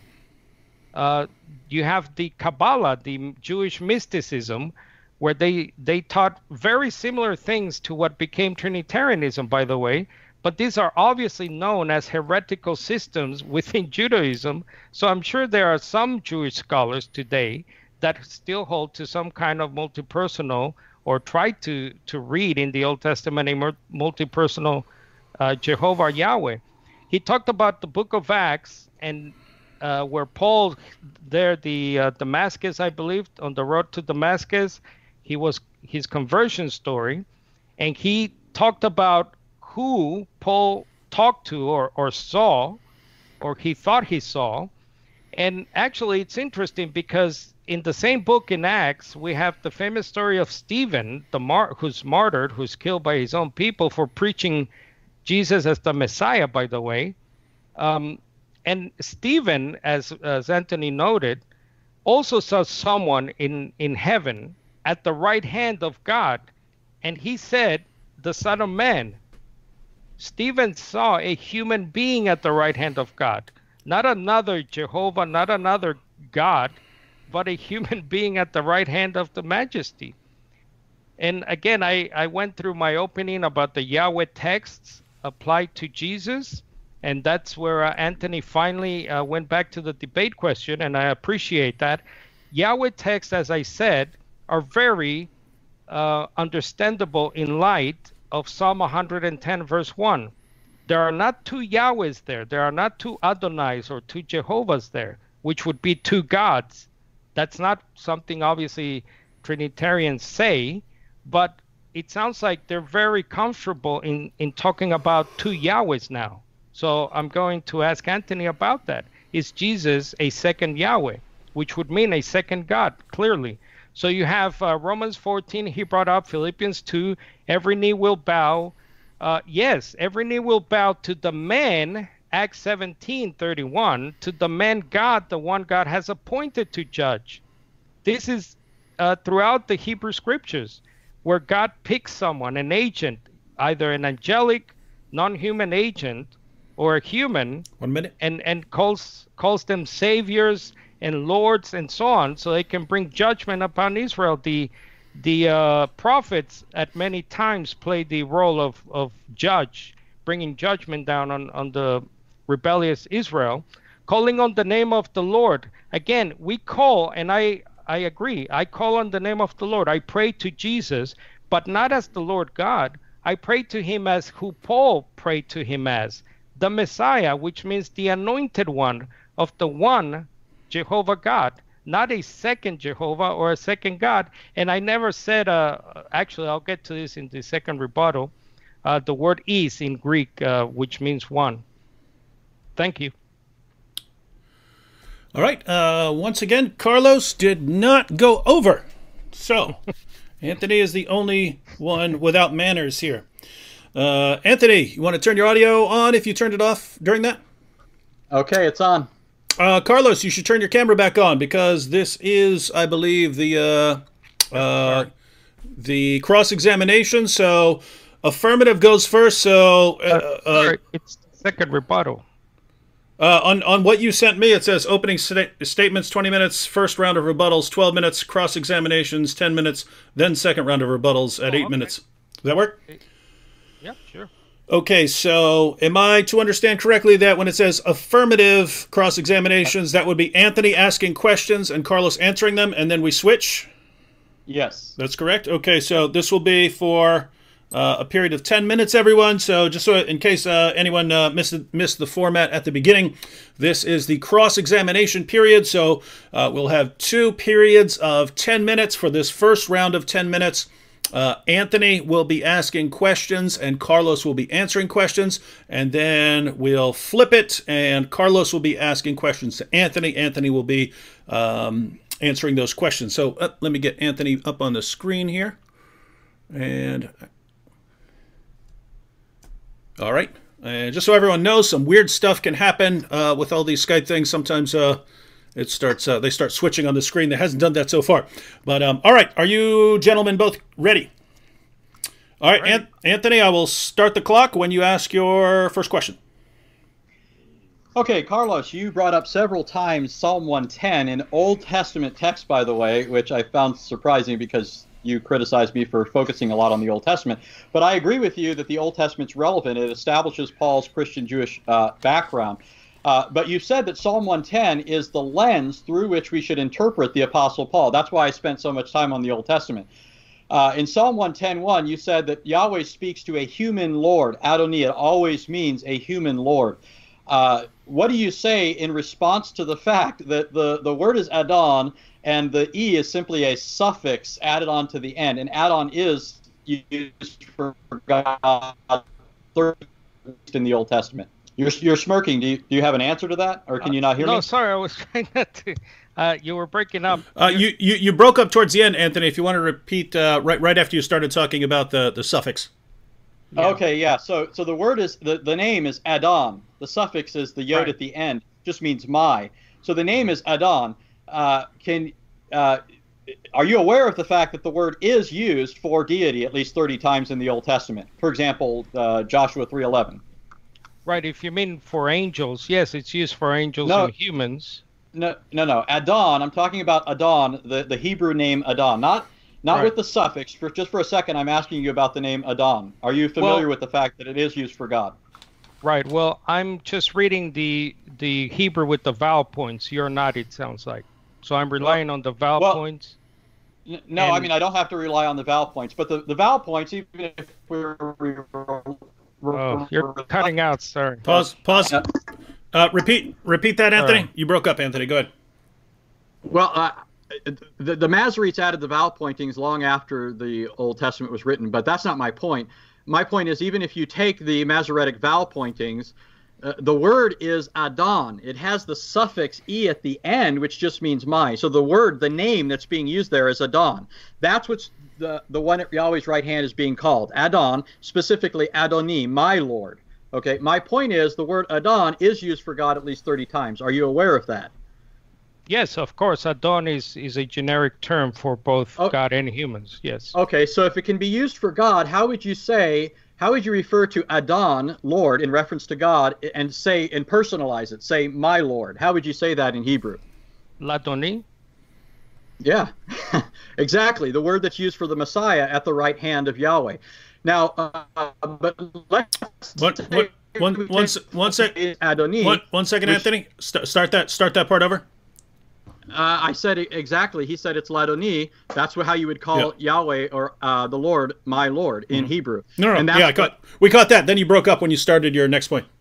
Okay, that's what uh, David calls Messiah. Mm-hmm. Now, uh, my my second question is, uh, how do you deal with the fact that Adoni itself, with the suffix, is used for Yahweh? It's used in Joshua five for the, the the captain of the Lord's host, the one who appeared to Moses in the bush, who identifies himself as God.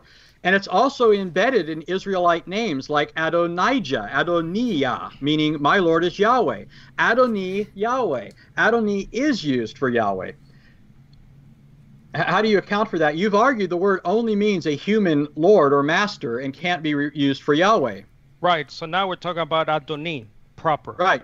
Yes. Right. Adoni is used. If you see it, uh, if you check any standard Hebrew lexicon and so on, you will see that Adoni, my Lord, simply my Lord, not Ladoni, to my Lord.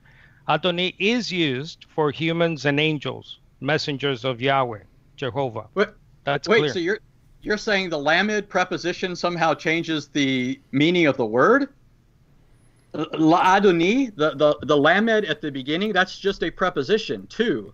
How does that change the meaning of the word Adon, meaning Lord? Right. Again, it's I'm confused because it sounds like you're reading the second Lord as Adon and not Adoni. So uh, uh, again, obvi- again, yep. the word is Adon. The e at the end is just a suffix meaning my. It doesn't right. change the meaning of the word. But if, and I asked you, I, I even brought up instances of Adoni.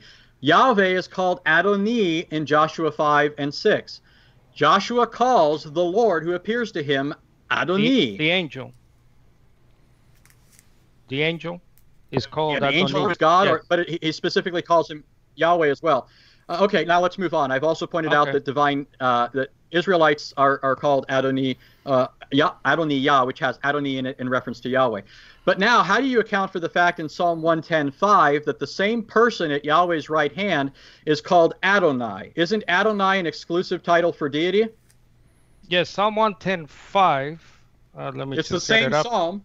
It's the same psalm. The one at Yahweh's right hand in verse 1 is called Ladoni, and he's called Adonai at verse 5. The Lord is at your right hand. That word is Adonai. Right. It changes position so it goes back to the Yahweh, the Jehovah, the Adonai. From so the one, the Lord, Yahweh, Adonai of verse one, is now at the right hand of the Messiah. And Wait, so you're and that's so you're, uh, saying in verse five, you're saying in verse five it's now talking about Yahweh, not not Ladoni. It's not talking about that, the Messiah. Right. That's it goes back uh, to Jehovah or Adonai as it does okay. in, in, the previous psalm, Psalm 109 verse 31, and other psalms like uh, I believe it's Psalm 16 verse 8, where Yahweh, Jehovah Adonai, is at the right hand of us, of the supplic or the one he's empowering. So that's used throughout the psalms, maybe four right. times I believe. Yahweh at the right hand of someone. Okay, let's stick with this psalm. In this psalm, David says that Messiah is at Yahweh's right hand, Ladoni. Then he says, uh, Adonai is at your right hand. He calls him Adonai. You said now it switches positions, but notice how the rest of the context goes on. Adonai, the Lord, this is verse 5, is at your right hand. He will shatter kings in the day of his wrath. He will judge among the nations. He will fill them with corpses. He will the abroad. He will drink from the brook by the wayside, therefore he will lift up his head. Is that talking about Yahweh or the Messiah? The Messiah. It goes back to the Messiah. Okay, so it's talking about the Messiah from verse as, 5 on. And Messiah is called Adonai. As Psalm 2 uh, clearly says that the Son, the, the Son there, is shattering kings and, and executing judgment on the nations and so right. on. You're making my point. Verse 5 it, it, all the pronouns refer back to the Lord in verse five. The Lord is at your right hand. No, no, not not all he, the pronouns. I oh yes, they do. Uh, no, I did. Look, it, look at verse five. Yeah, the I Lord think... is at your listen. The Lord is at your right hand. He will shatter kings in the day of His wrath. It's talking about the Lord, Adonai, and then it's still talking about the Lord in the next verse and in the following verse. He will lift up His head by the wayside after drinking from the brook. You've admitted that the Messiah, back to verse 5, Messiah, in this key all control text, you've admitted that it refers to the Lord. And uh, therefore, we should interpret Paul. Jesus is Lord. He is Lord in precisely this sense, in the sense of being the Lord Adonai at Yahweh's right hand. Both of those are divine titles. Is there a question? Uh, it was just a refutation, I guess. Okay. Yeah, I guess I uh, Quest- que- que- questions, Anthony. Questions. I'll let you drill me. I'll let you drill me too, Carlos. Yeah. Oh, uh, by the way, that's what I was doing. I was thinking, okay, whatever standard Anthony is applying, I'll allow Carlos to apply the same standard in his. All right. Uh, you got about a minute and a half of questions left, Anthony. Or statements.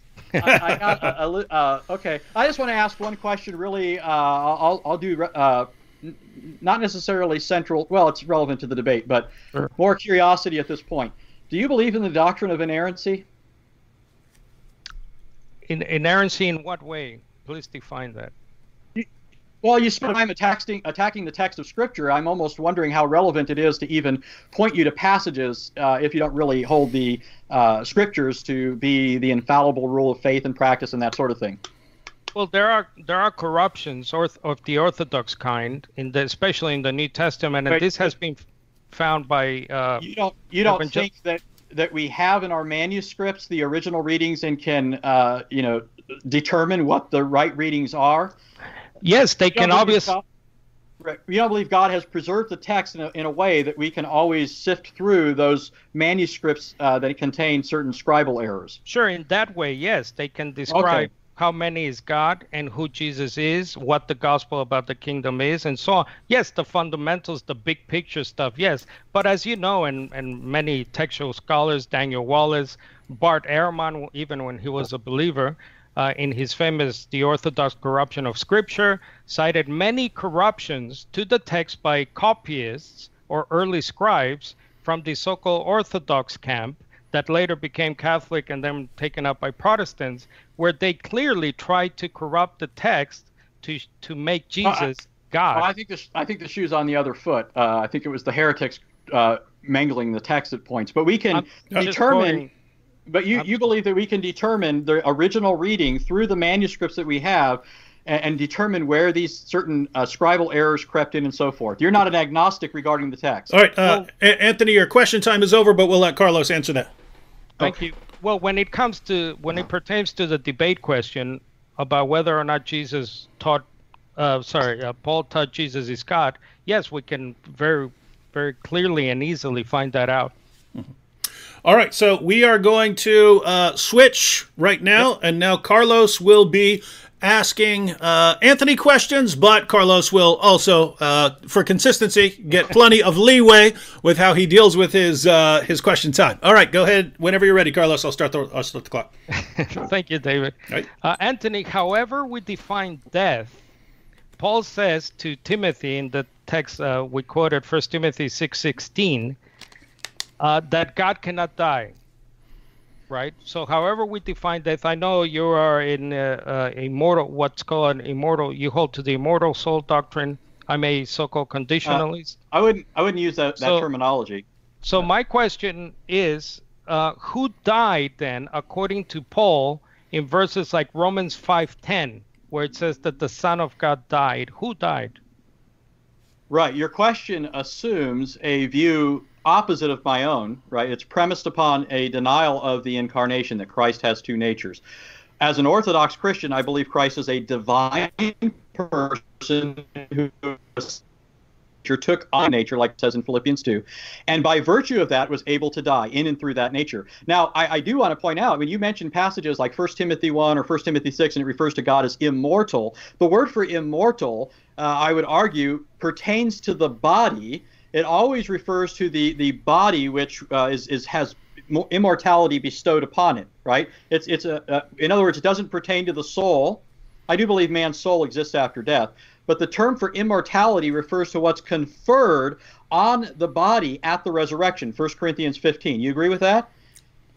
Well, Hey, I'm sorry. Ah, that's yeah, yeah, yeah. What are you doing, Anthony? Come on. Hey, sorry. Uh, follow-up question. So just just to be clear for our audience, do you believe this, like Paul, that the Son of God died in Romans five ten? Do you believe that? Absolutely. Yeah, He died for us men and for our salvation. Okay. There, I had, Uh, I had to sneak in a creed real quick. Uh, next question in uh, about Philippians 2. So Philippians 2, just for the sake of the audience, Paul says that we should have the attitude that was in Christ, who existed in the form of God, right? And uh, he chose instead to be like a bondservant or a slave, right? By emptying himself. That's Philippians 2 7. What did the Christ, what did the Messiah empty himself of? Well, it, it defines it. Actually, there's there's uh, a lot of confusion and uh, debate stems from this, where people uh, ask that very question. They're just not paying attention to the grammar. It might seem strange to us, but the way uh, Christ emptied himself, according to Paul, is not by getting rid of something, but by taking on something. In verse seven, it says he emptied himself by taking the form of a bondservant and being made in the likeness of men. So this self-emptying uh, was done by virtue of taking on himself a human nature and appear man uh, and not uh, as he is in his essential nature prior to that, uh, as also in the form of God. Um, do you believe or do you hold to the translation uh, regarding the the morphe, the morphe there, the in the form of God, the word morphe, which means form? Uh, do you also uh, agree with translations like the NIV that it can be translated in very nature God? I, I think that's a very viable uh, interpretation viable? of that. So- but it's not it's not uh, required for the incarnational understanding. Okay. Right. It was held by B.B. Warfield and others, but it's not the only one consistent Okay. with a, a But- incarnational reading. But it is a possible translation that you would accept in very nature morphe. Sure, because it also Okay. says that he took upon him the form of a servant. Uh, and in uh, addition to that, and I take that to mean, as Paul explains it here, uh, appearing in the likeness of man. Right. So it need it, it does mean the very nature i later in the context. So I would think consistency requires So he was- understanding. So he was by nature God and by nature a bondservant or a slave? That's two natures? he be- yes, he became. Well, he be, uh, he took upon himself, or uh, it says there, he ta- uh, by So- taking the form of a servant and Right. being made in the likeness of men, being So he- found in appearance as a man, and so forth. Right. So if we're consistent with morphe as nature, so he had two natures, a God Amen. nature and a bondservant nat- nature, like a slave. And and and the natures. nature is further defined as the likeness of men. okay. He Uh, was like us in all respects without sin. All right, thank you. In keeping with Philippians 2, it goes on to say that for this reason, for, for all the reasons stated, God, in verse 9, has the Greek there, as you probably know, is super exalted the Christ, right? Super exalted. So, how, my question, how can God super exalt someone who by very nature is also God? Yeah, it, it's funny because uh, Paul makes uh, uses the same sort of reasoning, but he comes to an opposite conclusion. In Ephesians four, Paul speaks of Christ ascending, but then he asks the question: How could he ascend unless he first descended? It presupposes a prior descent, and the reason it does is because he's a divine person. A divine person can't ascend unless he unless he first descends. The reason that Christ could be hyper exalted is precisely because existing in the form of God he took on the form of a bondservant and humbled himself even to the point of death, the death of the cross. So now, in our nature, he is exalted up to the right hand of the Father, where he now represents us. So he's not exalted in his uh, divine nature. Uh, So- he is he is exalted as the incarnate God Man, the Lord Jesus Christ. Paul even Right. calls him Lord there, and he applies a Yahweh text to him, Isaiah So- 45, 23. So the so the one God super exalts uh, God the the, incarnate Son Lord Jesus. Right. Amen. in both yes. natures. So he's exalting the divine and human nature. He's Super exalting the divine person who's incarnate, and by virtue of that incarnation was Okay. uh, humbled. He self humbled. Uh, if Jesus is the creator God, as you believe, why does Paul uh, use the prepositions through dia, Christ, in like 1 Corinthians 8 6, right? For us Christians, there is one God the Father, one Lord, Messiah Jesus, through whom, right? So if if Jesus is the creator, why does Paul use those prepositions dia and then also in Colossians 1:16 Paul says all things were created as you know that's a what's called a divine passive in other words someone else created through uh, the Christ Jesus. So how how do you explain that?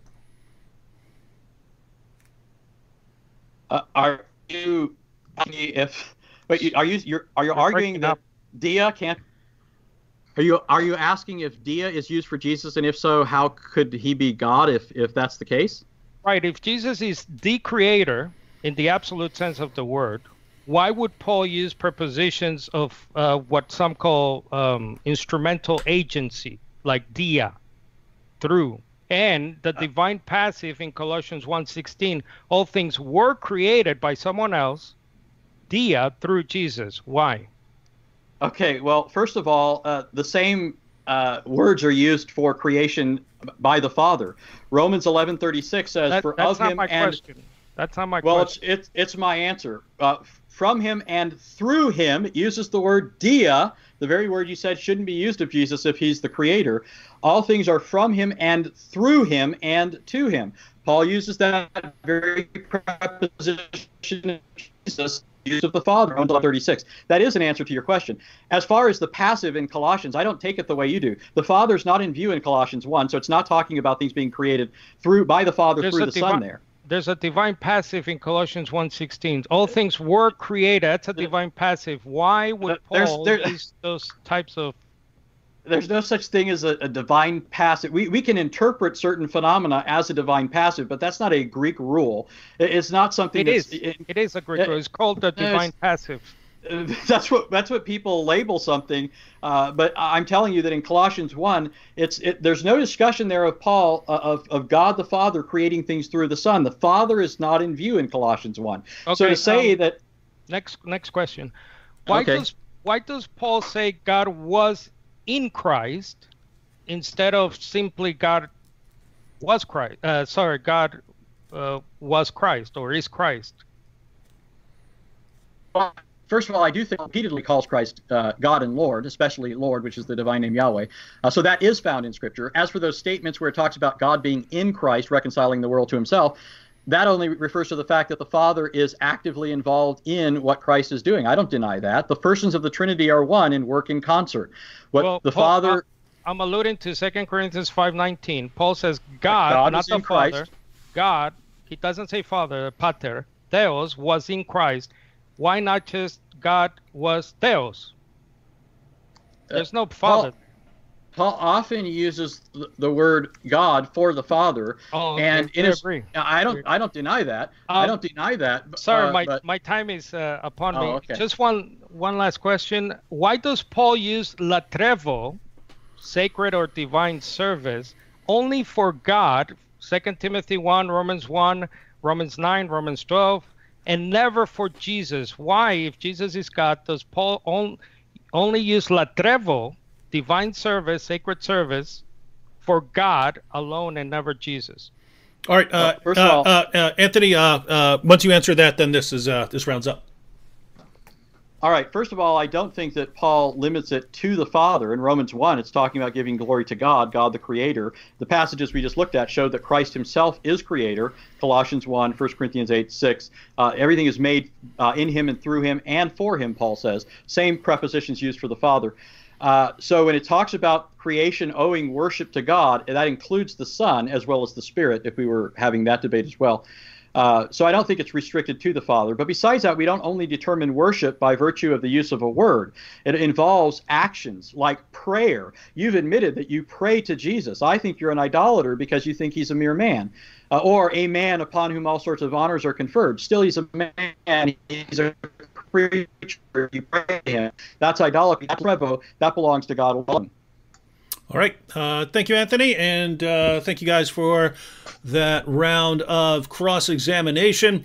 Uh, according to the schedule here, um, things are going to be uh, we're going to be picking up the pace here because we have our second round of rebuttals, eight minutes for each participant, and then we'll have our concluding statements followed by some Q and A from those of you in the chat. So if you uh, if any questions have been jumping into your mind um, along the way. Uh, we'll be able to start those here very shortly. So, Anthony, are you ready to go into your eight minute rebuttal?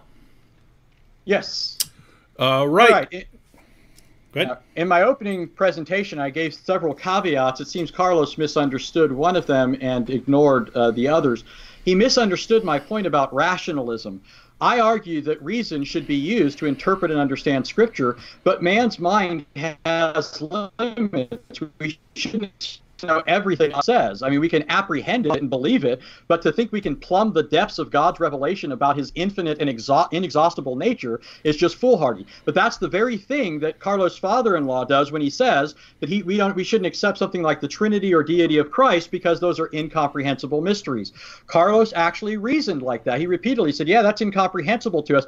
I'm not saying that it's not incomprehensible, that it doesn't go beyond our full ability to, uh, uh, you know, just wrap our minds all together around. But it's a revealed truth, and as such, we're supposed to believe it if we're believers. If we believe all the treasures of wisdom and knowledge are deposited in Christ. If they are, then those things that are incomprehensible to us are not incomprehensible to Him, and therefore we can know that these things are rational, even if we can't fully rationalize them to ourselves. So I do think my charge stands uh, Socinians, Unitarians are rationalists. They reject what's not comprehensible to them.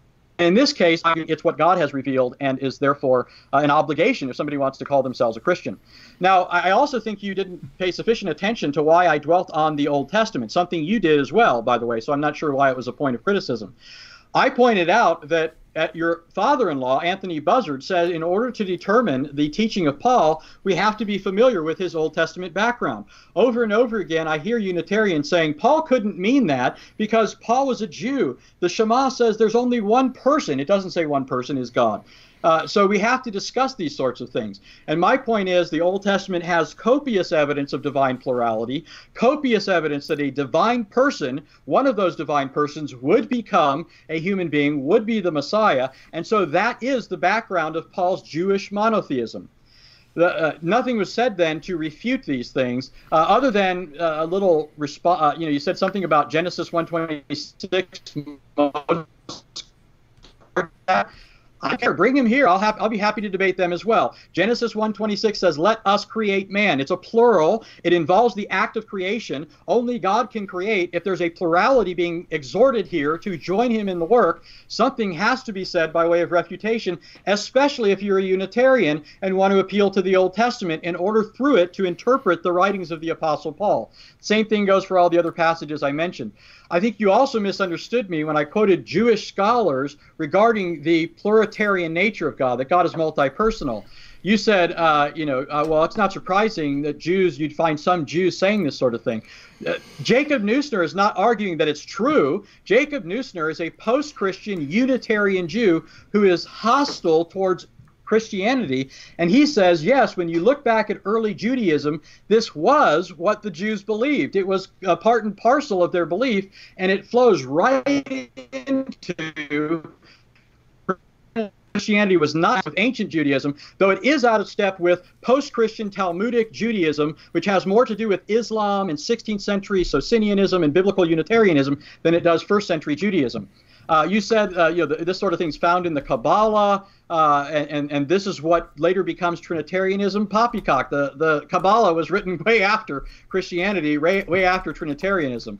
Uh, you admitted that there's a doctrine of two powers in heaven in ancient Judaism, but you said this is heresy. It wasn't heresy in the first century or prior to that. It was Orthodox Judaism, as pointed out by men like Daniel Boyarin.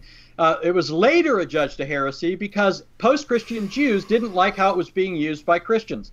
Uh, with respect to Paul's conversion, you didn't seem to get my argument.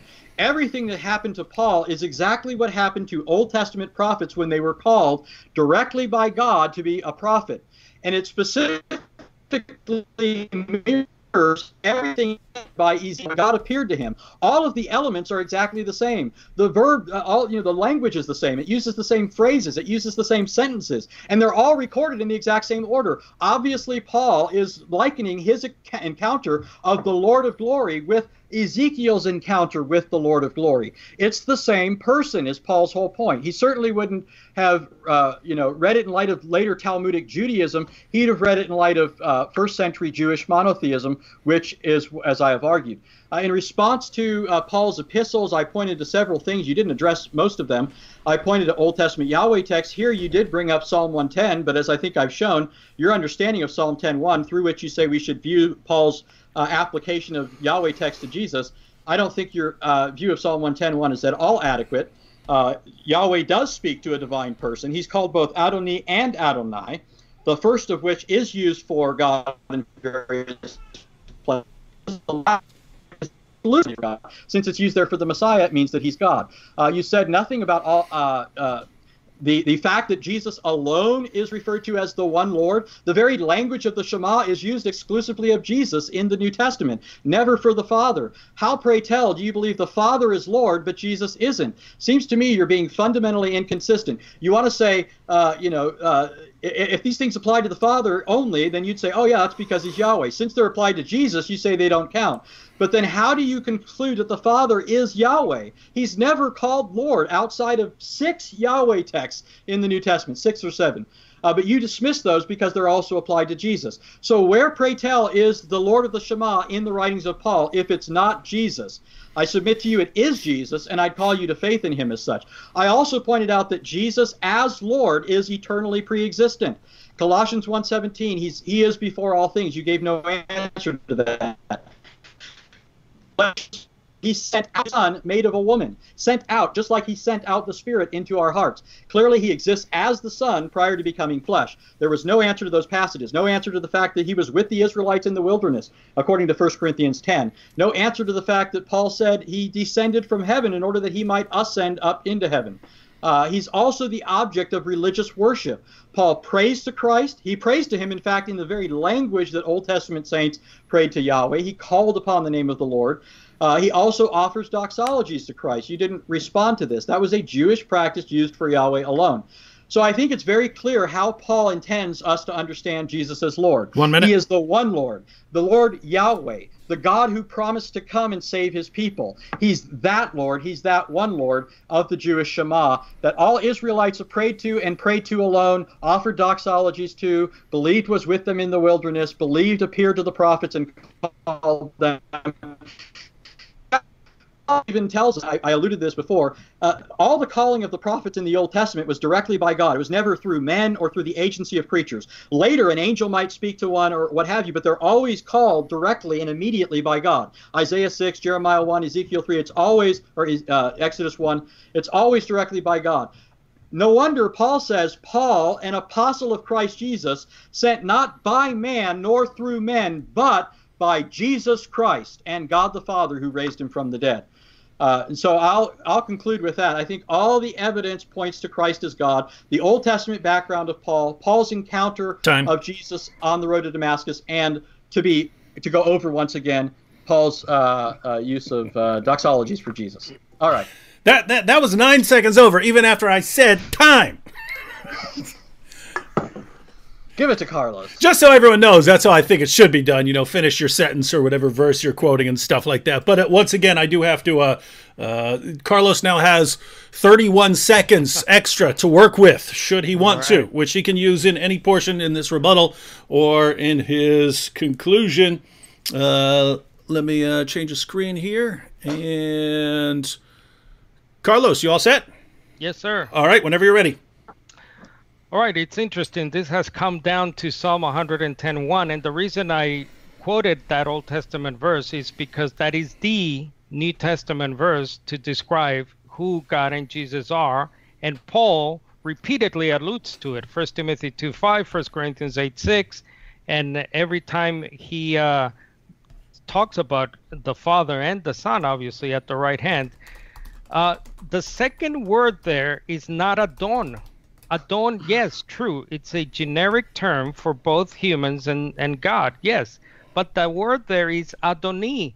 And I know that uh, Anthony rejects the Masoretic vowel, so-called vowel points of, of, of the Hebrew, uh, but this is shown clearly in the Greek translation of the Old Testament by the phrase I, I talked about, Tokirio mu, that translates the ladoni there, the to my Lord of the Hebrew, and that phrase, please check it, Tokirio mu, is never used for deity. Neither is Adoni, the, the word for my Lord. That's used for angelic messengers, true, but God is not his own messenger, and human beings. So, and this is not my view. Again, please, I implore you to check any standard lexicon, Hebrew lexicon or just talk to a rabbi. Just go to Jerusalem like I did and ask my tour guy. And, and I asked him about Adoni, what Adoni meant. And I asked him flat out, does Adoni mean Adonai? He said, no, it means my master. 1 Corinthians 1 3, it's clear. Paul, throughout his letters, opens up clearly defining who is who. Grace and peace from God our Father and the Lord, Messiah, the anointed Lord. He is not an anointed Yahweh. He that would mean an anointed God in the absolute sense of the word. That that that just doesn't make sense. And we're all about using the tool of reason here, right? Um, he talked about Paul conjoining. I think that was a word he used, conjoining Father Son as one Lord. I mean, that's that's even worse than a uh, conjoined set of twins.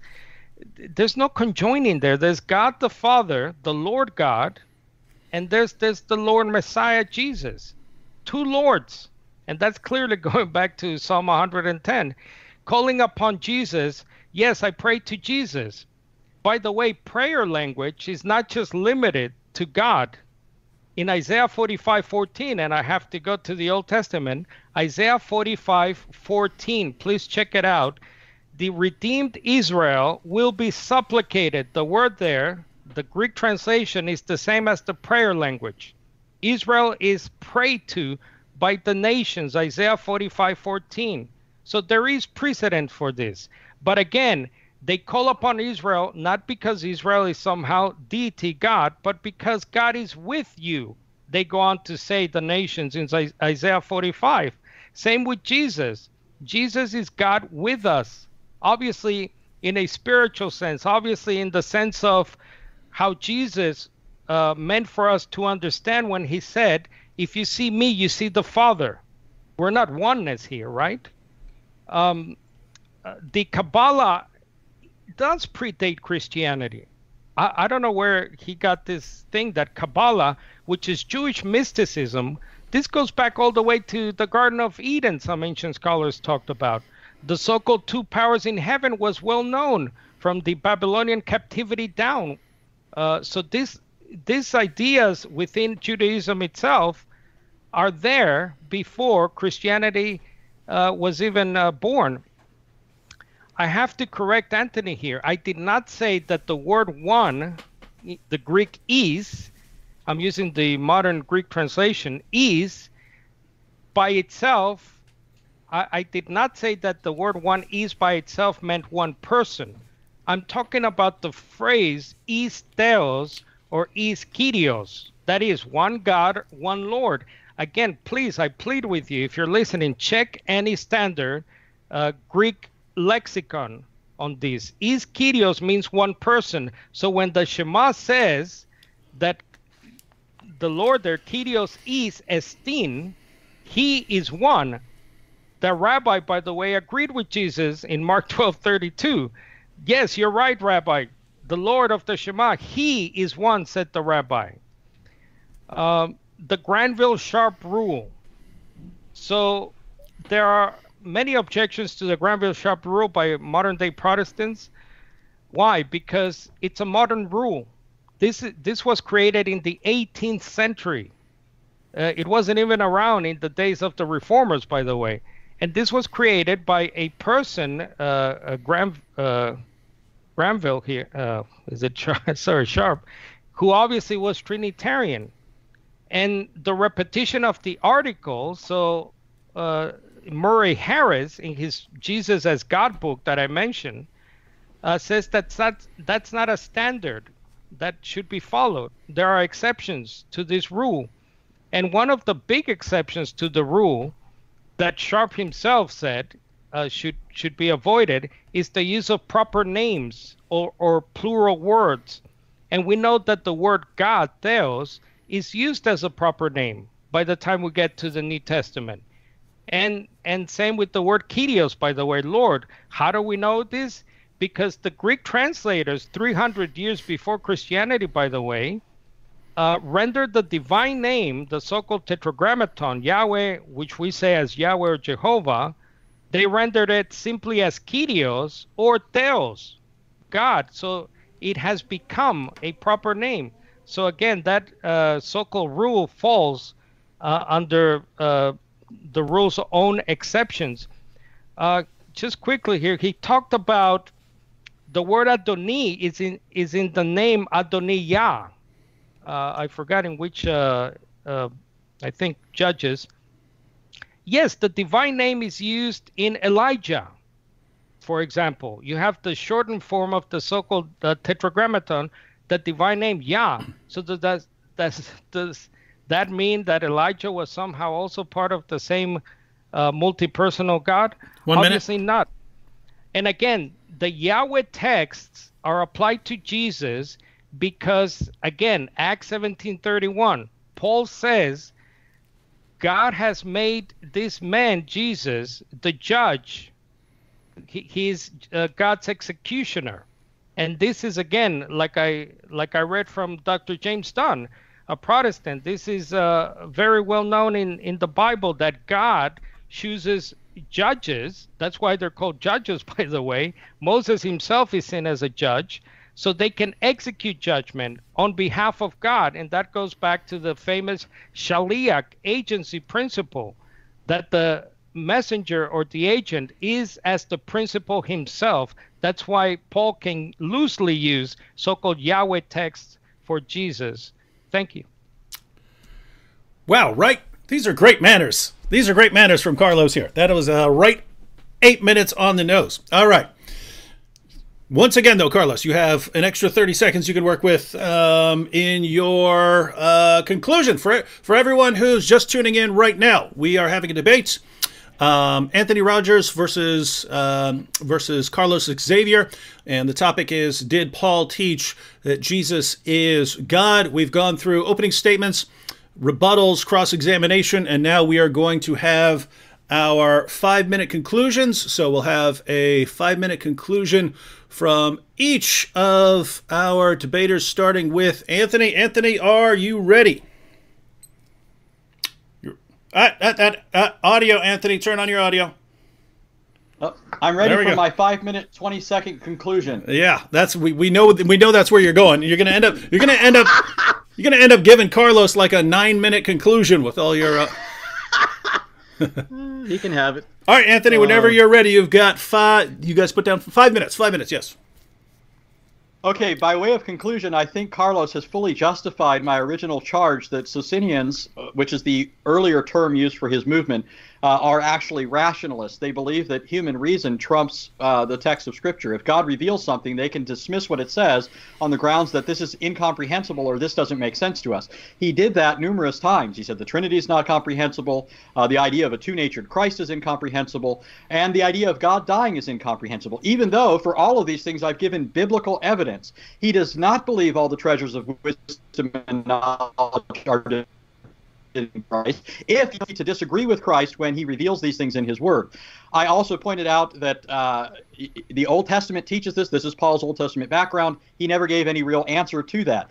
Uh, he never gave any answer to the Old Testament evidence for the deity of the Messiah. Uh, he never adequately dealt with the fact that Second Temple Jews believed, in fact, in a multi personal God and that one of those persons would be the Messiah. All of this is part of Paul's Jewish background he didn't adequately deal with the fact of Paul's conversion, where the entire uh, description of it mirrors that of the calling of the prophets by God himself.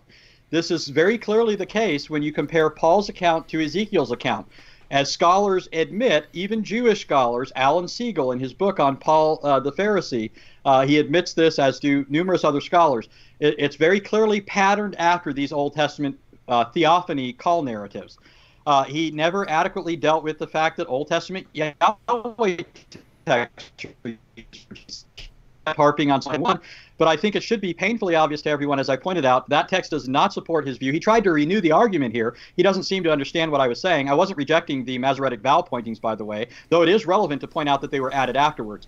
Uh, but the, the text calls the same person in verse 1 who called Adonai, Adoni, it calls him Adonai in verse 5.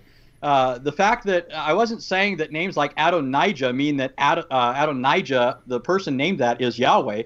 The point is that his name means Adoni Yah. That's Adoni. The Lord is my Yah. It uses the word Adoni for Yahweh, which Carlos says is never used for a divine person. It's never used for Yahweh. Well, there it is.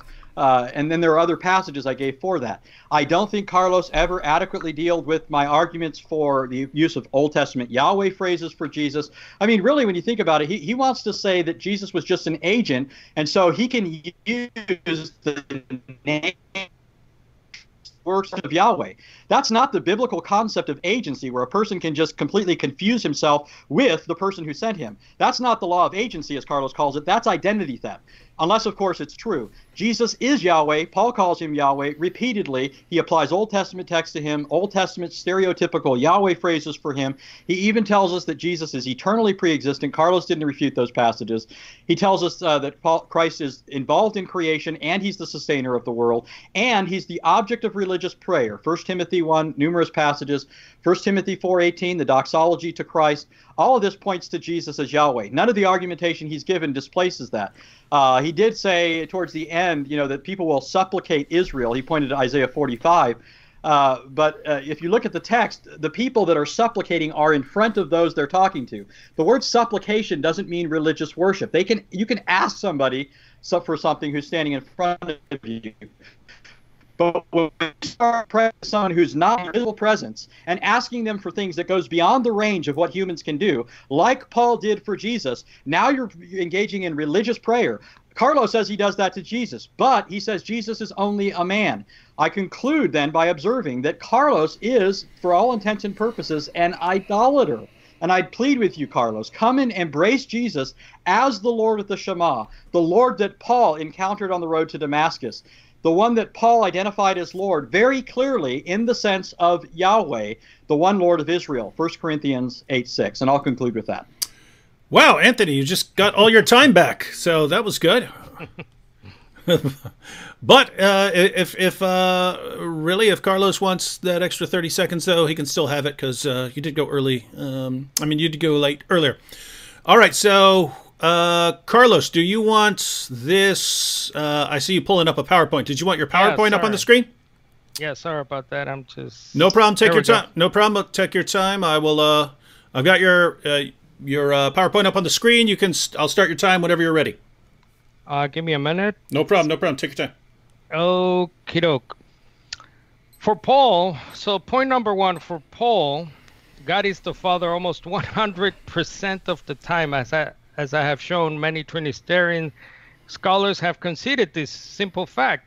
The noted German Protestant Heinrich Meyer or Mayer in his New Testament commentary says that only one, that is the Father, can absolutely be termed the only true God.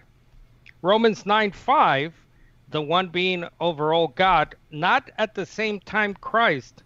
So it's self evident that the God of the Bible is set over and against the gods of the nations. This is Paul's point in 1 Corinthians 8 that for us, that is Christians, there is only one God, the Father. Everything came or comes from God the Father, and we live because of God the Father. Uh, my point number two for Paul, Jesus is the human Son of God who was made, genomenon, came into existence in Mary. Jesus is called the second Adam because the first Adam was also brought into existence if you see Genesis 2 7 in the Greek translation there, this is shown in Paul's frequent allusion to Psalm 110.1, the key text for what many term the Adam Christology. That's why passages like First uh, Philippians 2 should be explained in keeping with this view. So the first Adam wanted to be like God as something to rob, and his rebellion was counted as disobedience. That's why he was forced to be humble by God, punishing him with the curse and forced to live like a slave, that is to sin. So the second Adam, who lived like God, chose to empty himself as per the suffering servant prophecies of Isaiah. He made himself a sheep to the slaughter, obedient to the point of death. So he chose to live like a slave, not as a punishment, but voluntarily and obediently. That's why God has super exalted his son, the Messiah, at his right hand. Again, Psalm 110, verse 1. Point three was Paul never uses the word God for Jesus. The few verses that are appealed to as proof contain textual problems, if not flat out corruptions. As I have shown, this is an argument made by many noted Catholic and Protestant scholars over the centuries. This is not just my view here. Dr. Murray Harris, once again, in the book Jesus as, as God, says the majority of scholars hold that the word theos, God, is applied to Jesus no fewer than five times out of a total of 1,315 times in the New Testament's use of the word uh, theos, God. Because, says Murray Harris, in all strands of the New Testament, the word God generally signifies the Father. My point number, and my last point, number four, for Paul, Jesus is the Lord Messiah, not the Lord God. Paul uses the title Christ, Christos, with the title Lord hundreds of times.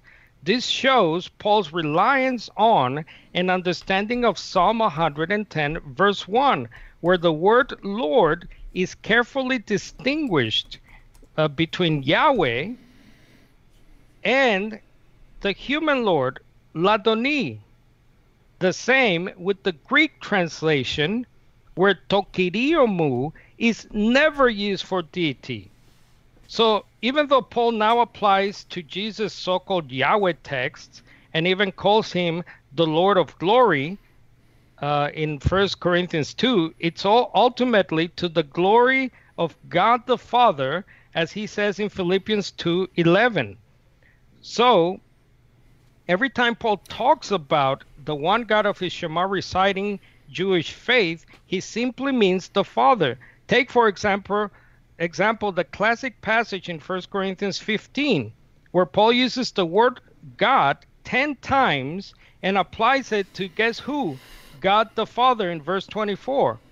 The Son is subordinate and in subjection to God the Father from now on until the kingdom comes and even beyond that. 1 Corinthians 15 27. For God has put all things in subjection under his feet, the Son, but when it says all things are put in subjection to the Son, it's plain that He, God, the Father, is accepted who put all things in subjection under His Son. When all things are subjected to Him, then the Son Himself will also be subjected to Him who put all things in subjection under Him, so that God the Father, that is, may be all in all. Thank you very much. All right, we actually uh, got uh, Carlos to go a few seconds over that time, so all is all all's fair here. All's fair. All right, we have now.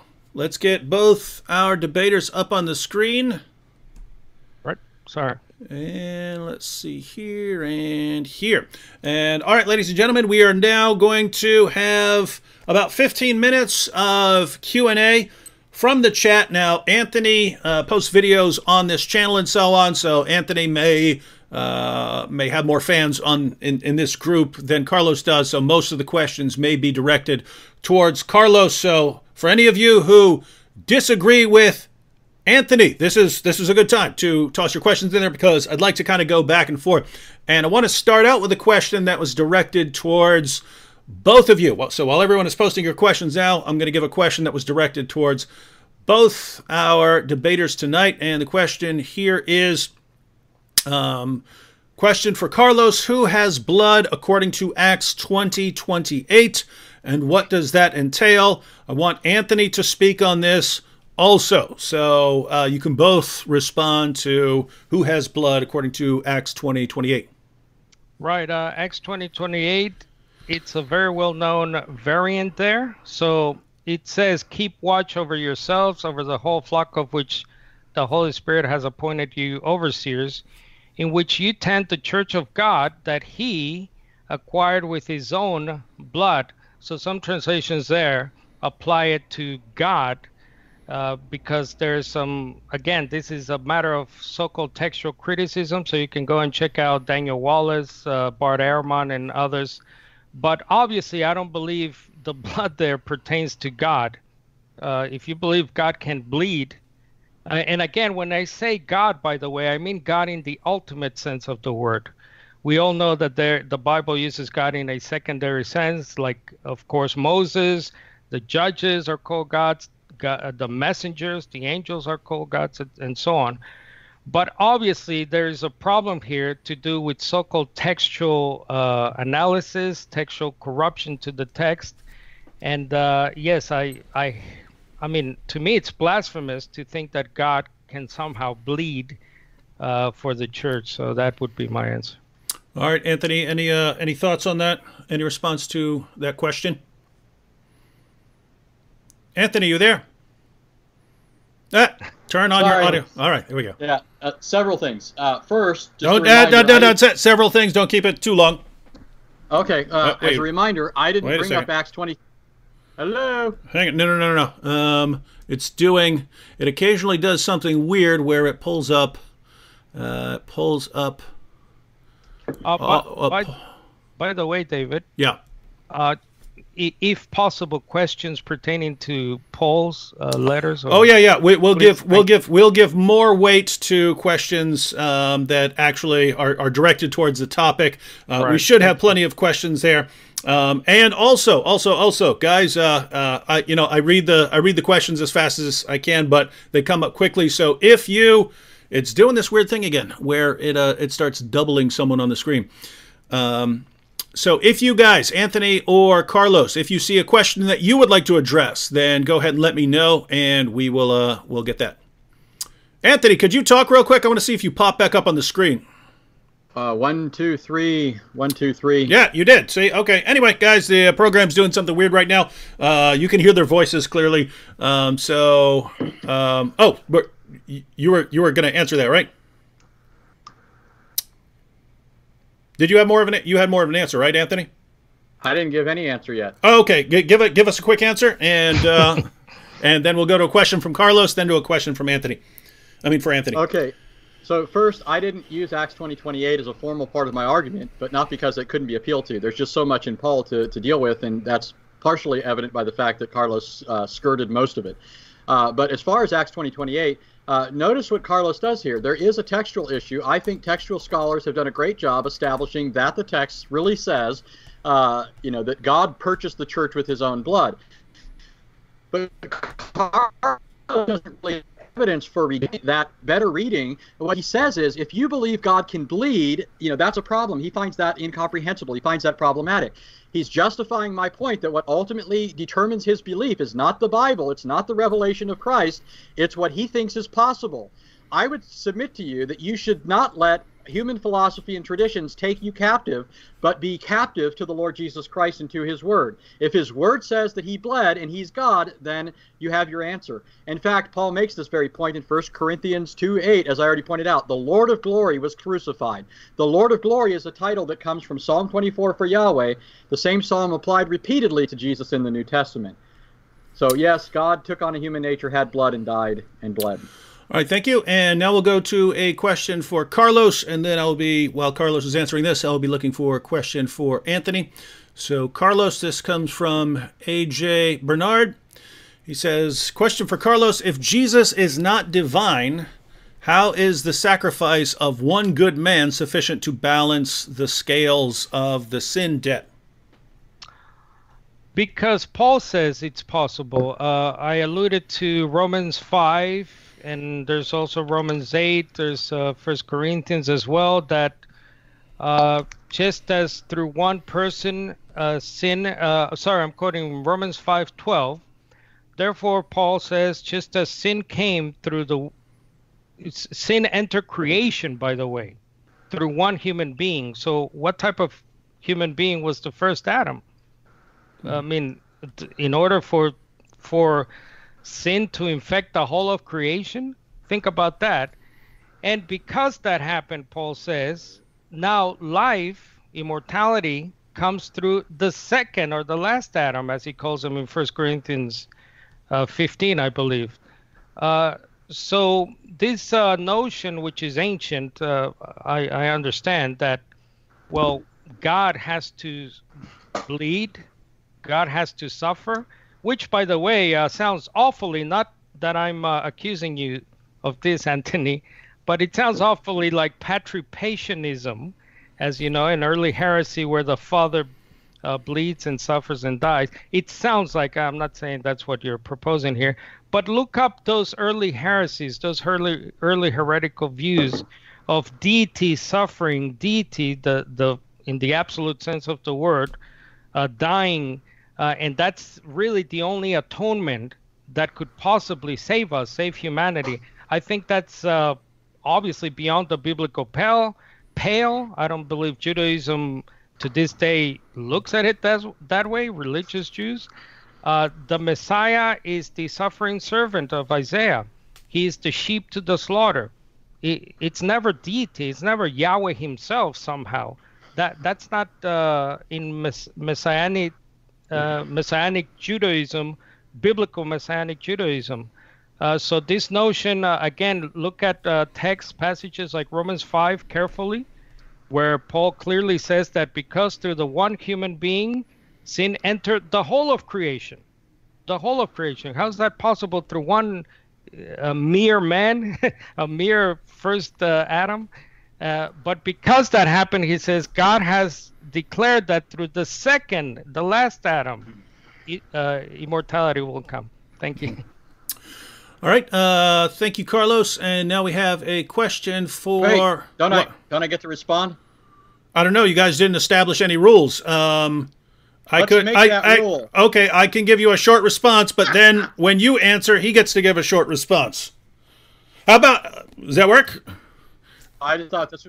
That's how it worked. That's how it worked on the first question, where he answered, then I answered. But I, I mean, uh, what's fair is fair. No, no, no, no, no, no, no, because that that that uh, that question was directed towards both of you. It was in the question. Good, it was directed Oh, towards I both see. people.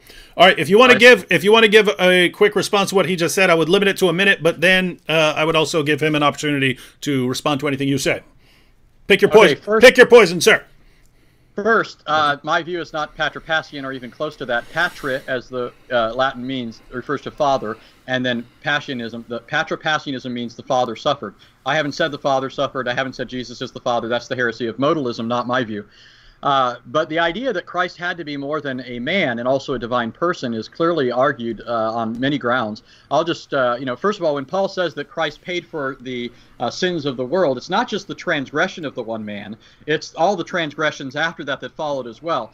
But more than that, the reason Adam's sin could be, uh, you know, affect the entire world the biological as well as the federal head of mankind. Of course, his sin infects the human race. What would be sufficient to root out that corruption? Is it just another man dying? I submit to you that it is not. According to Paul in Romans 1, Romans 8, the one God sent as a man to die was his son.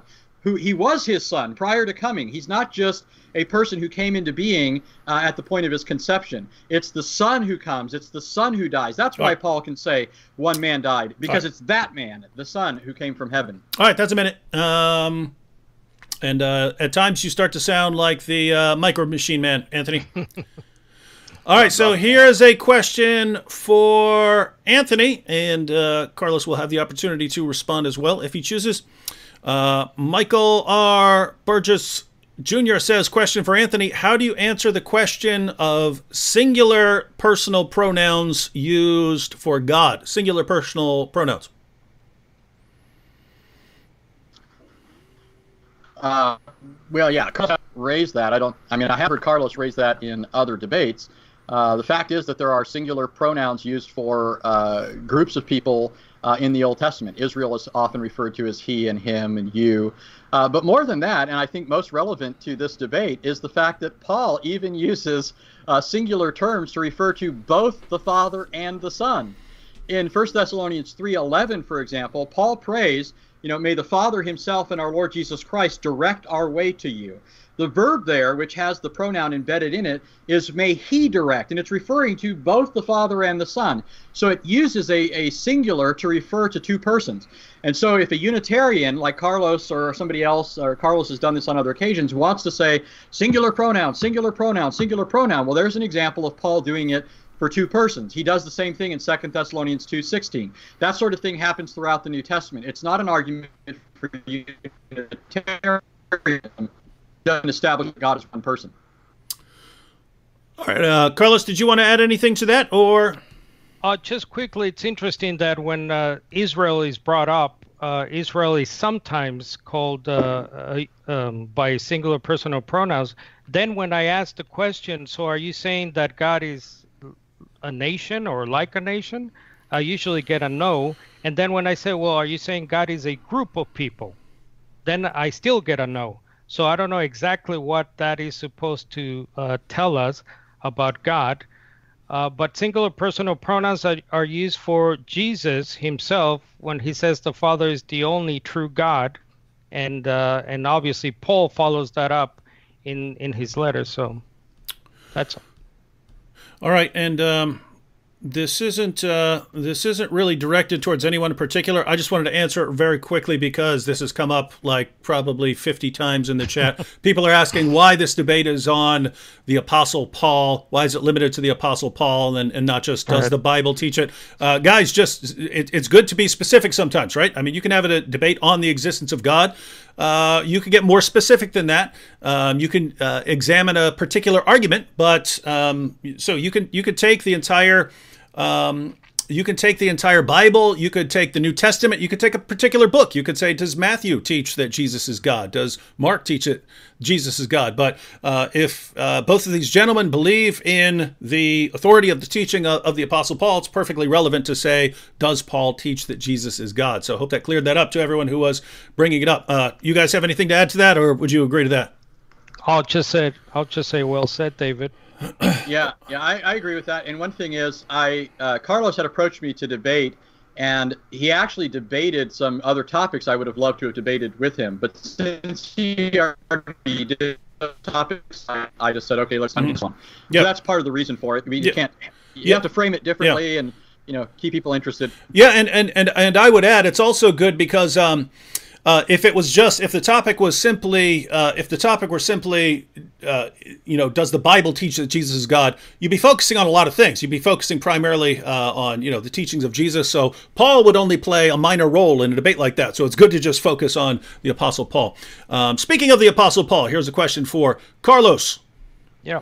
Uh, Breakfast Gun uh, says, Is Paul explicitly calling Jesus God in Romans 9 5? Uh, to them belong the patriarchs, and from their race, according to the flesh, is the Christ who is God over all, blessed forever. Amen. Right. Uh, again, that's one of the so-called uh, problematic, and that's a language that um, evangelical scholars, Protestant scholars use, Catholic scholars use. These are problem texts. So again, you have to go to the books there. You have to do your own study and and uh, convince, uh, be convinced in your own mind. I quoted um, Meyer, uh, Meyer's New Testament, which is a very standard, uh, well-known uh, uh, commentary that he clearly thought that only the Father is the only true God, not in Romans 9:5. So again, it's a matter of uh, w- what's called textual criticism, which is a very long and tedious process. But if you want to get serious about this, and you know, not all of us are teachers, pastors, but yes, I. I, I would uh, recommend that you look at the scholarship done on, on those texts, like Romans 9:5. So. All right. And um, now we have a question for Anthony. Uh, guys, I'm trying to focus on questions. What's that? Wait, do I get a res- do I get a minute response? Yes, but again, he'll get a minute response to your next question. So is that the route you want to go? Yeah, I thought we were going Okay. that route. Okay. Okay. You can have a minute response, and then he gets to respond to your question, which he is going to want to respond to. Go ahead. Okay, one, I think I think Carlos is confusing things here. There are textual variations in the manuscripts that we have, but that doesn't mean that every place we don't like is a, a matter of textual variance. Romans 9:5 has no serious textual variant that uh, is discussed by scholars. That's not what the issue is in Romans 9:5. What some people want to argue is that it should be translated differently. That's where the, the conversation needs to be. And I would argue, as all scholars, I mean most scholars at least, the natural reading of the Greek grammar and syntax there is that Christ is being referred to as God overall. But more than that, it follows contextually. Paul is listing the great privileges that belong to Israel. Theirs is the adoption as sons, theirs is the law, theirs is the divine glory. And then he says, uh, uh, from them is the Christ according to the flesh, who is God overall. The very statement that uh, he's, he's from them according to the flesh presupposes that he's not from them. And Paul answers it by saying he's God overall. So the, the context uh, is, is in agreement with the most natural reading of the grammar. Christ is called God overall by Paul, just like he's called God in Titus 2.13. And I would disagree with Carlos's rebuttal of that earlier. All right. Uh, question for Anthony here, and then Carlos can respond. Uh, Munib Zia says, question for Anthony. And I, I've been trying to look for questions that are actually focusing on the Apostle Paul, but there aren't a lot of questions for Anthony. So um, just rolling with the ones here that are for Anthony. Question for Anthony Do you worship the human nature alongside the divine nature of Jesus when you worship him? How is that not blasphemy? Is there any way to worship just the divine nature in Christ? Yeah, I think that's a little bit silly. Even even apart from the idea of an incarnation or a person with two natures, if somebody asks, you know, do you honor your wife's toenail or something like that? I'm honoring her by, you know, uh, working hard and providing for her and those sorts of things. You know, but but to ask this of a divine person, it, it's not it's not that Christ is two persons that I would split him up into a human person and a divine person. It's one person who is both human and divine and it's the, the object of my worship is that person who is both human and divine. So i don't you know separate out the natures and say I, am worshiping his his body or his foot or something like that. I'm worshiping the person of christ.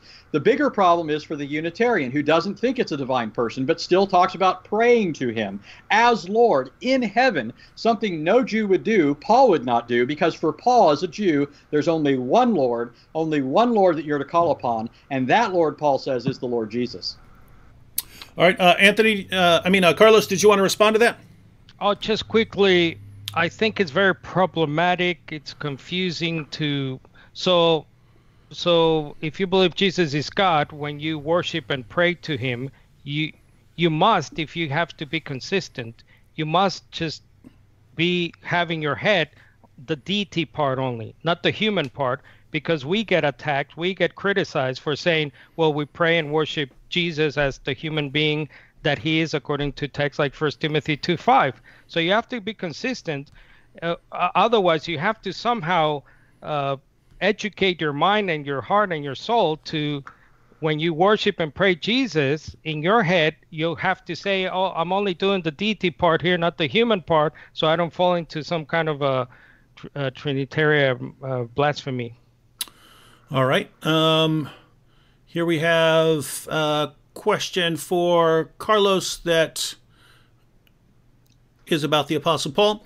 Uh, sure. So, hey, Luke says, for Carlos, do you know what Old Testament passage Paul is uh, taking and applying to Christ in Ephesians 4 7 through 10? Uh, not offhand. I have to Ephesians. No problem. Yep. It's Psalm Psalm 68. Right. Go ahead and pull it up. Yep.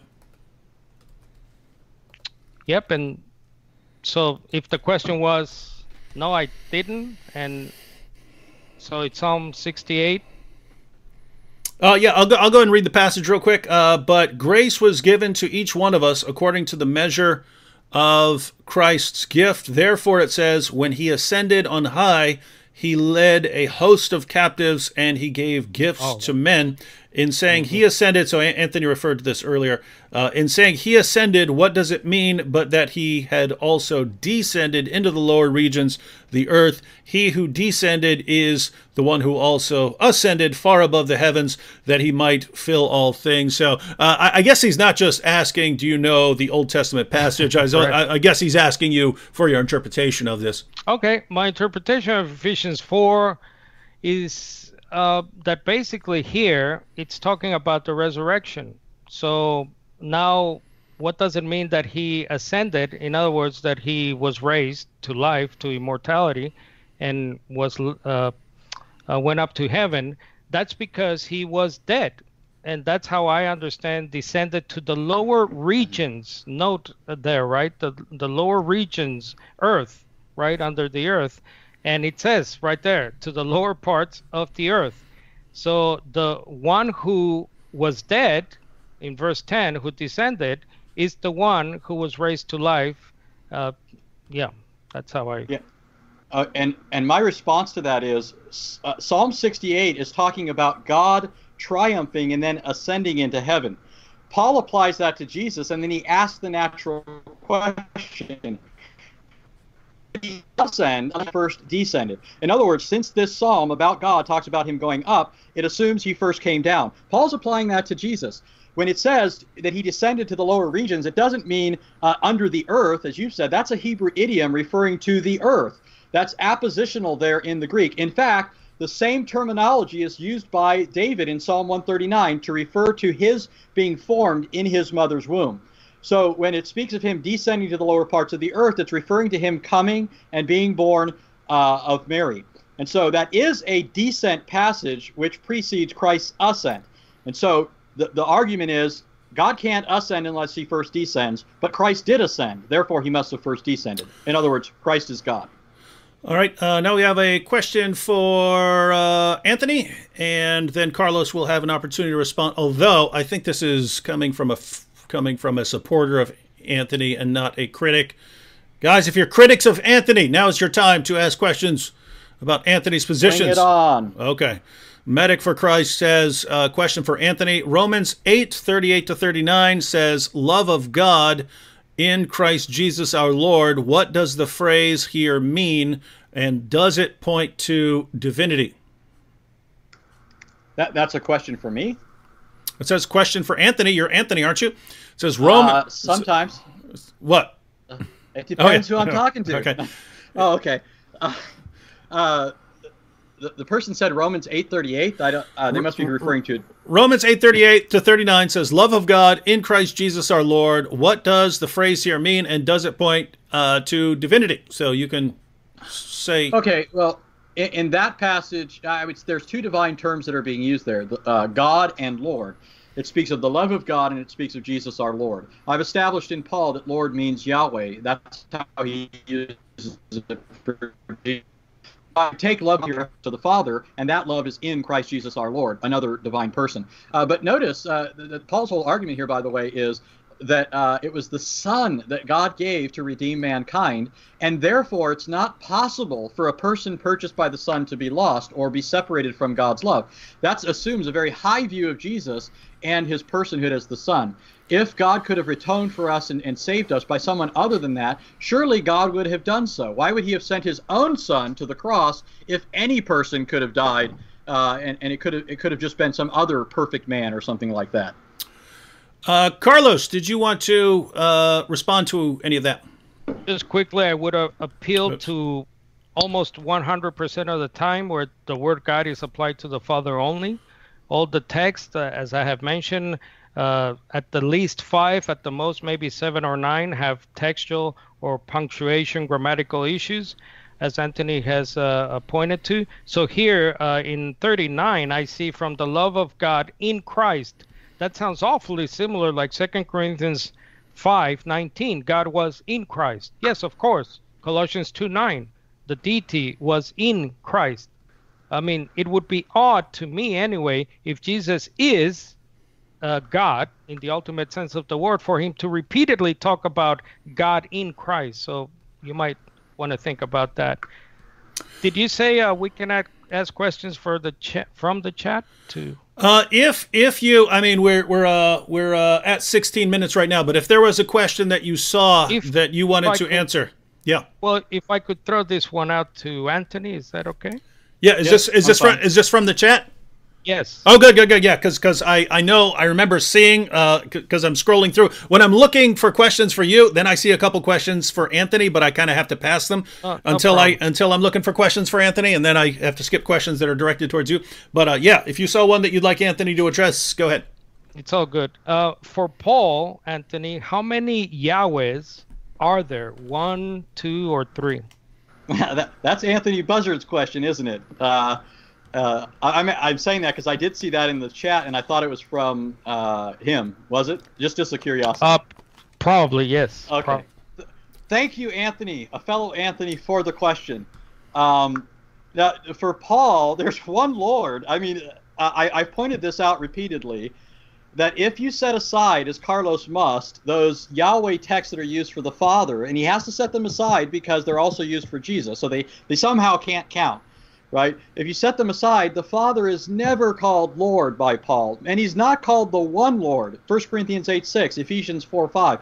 Jesus is called the one Lord. So if we're just restricting it in, in terms of the logic of the way Carl the one Lord. Now, of course, I don't reject those Lord texts being used for the Father. I accept the whole of Scripture. I don't reject any of it. I think the Father is Lord. I don't think that makes two Lords because I think that Jesus shares the same nature, the same essence as the Father. They are numerically one as to their essence. That's the upshot of a text like Colossians 2 9, where it says that in Christ dwells all the fullness of deity in bodily form. That doesn't mean, as Carlos says, we must be deity because later it talks about us being the, the, fullness in him. The whole point is because Christ is the fullness of deity, in him we have all we need. He is all sufficient for us. So, so my answer is there is only one Lord, and if we want to speak in one sense, we could say it's the Father and the Son and the Spirit, by the way, as Paul says in 1 Corinthians 3. Uh, but in terms of just Paul's language, and most of the time, Jesus is the only one he refers to as Lord, most of the time.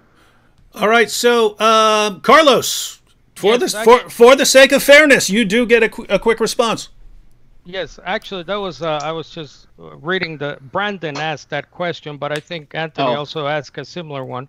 Um, the the multiple Yahwehs is, is is quite extraordinary, and that's why I got into this whole debating stuff because it's amazing to me. We can talk I, about. I didn't, say, mm-hmm. I didn't say multiple Yahwehs. Multiple persons who are Yahweh. There's one Yahweh. That Yahweh is identified as Father and Son. All right. So thank least, you. I mean, thank yeah. you. Multiple persons. So the Father is Yahweh. The Son is Yahweh. Um, um, I think it's a matter of uh, the agency stuff, which is interesting. Uh, the agent is being confused with the principal, and this is done with the angels of, of the Lord Yahweh. Uh, by the way, in the Qumran uh, cave, they found Yahweh texts applied to Melchizedek. So please Google that Qumran Yahweh text to Melchizedek. And in the Bible itself, in the in the Old Testament, Moses, Moses, Moses speaks uh, as Yahweh in Deuteronomy 29. The prophets oftentimes speak as Yahweh in the first person. Isaiah 53, Hosea 5, Habakkuk, or, or Zechariah, and so on. So to say that just because they do that, this is a, a Hebraism, if you will, uh, and and then uh, talk about multiple persons as Yahweh, I think that's simply mistaking the agents of the one Yahweh for Yahweh Himself or themselves. All right. Uh, thank you for those. And since we are, uh, we've gone, we've gone a little over time now, but I don't want to end on this note. So I would just want to give this is this wasn't on the schedule, but just wanted to give uh, each one of our debaters uh, about a minute to a minute and a half for any final thoughts that they wanted to uh, basically share or tell people where to go. Or um, uh, I, I have I have their their bios in the description box. So if you wanted to go to any uh, sites or get any more information, you can go there. Uh, but I just wanted to give uh, Anthony about a minute to 90 seconds and then Carlos uh, as well for any final thoughts or any final words for everyone who's watching. Okay, yeah, I just want to close by saying, uh, you know, I'm, I'm thankful to Carlos for engaging in this debate. I think these issues are serious and they're important, and that's why I've made some very uh, some points very pointedly. It's not because I don't like Carlos. I think Carlos is a great guy. I do think his position departs from Scripture. I think it's idolatrous. I don't think uh, that it involves a saving confession of Christ to call upon him as something less than Lord in its absolute and true sense, as uh, I think I've established in the debate. So I think these are important issues. I hope people will continue to search in, into them, even go back through the debate and see what arguments were made, what arguments were lost in the debate, which ones were misunderstood and responded too well. I think greatly, and uh, you know, I'd encourage you to continue to read the sources that have been referred to in this debate as well. So I'll conclude with that. All right, thank you, Anthony and Carlos. Any uh, any final thoughts for everyone who's watching? Thank you, Anthony, for your kind words. Uh, I understand this is. I agree totally. It's a serious matter. Uh, we're very sometimes jovial, and you know, we. I think we do like each other.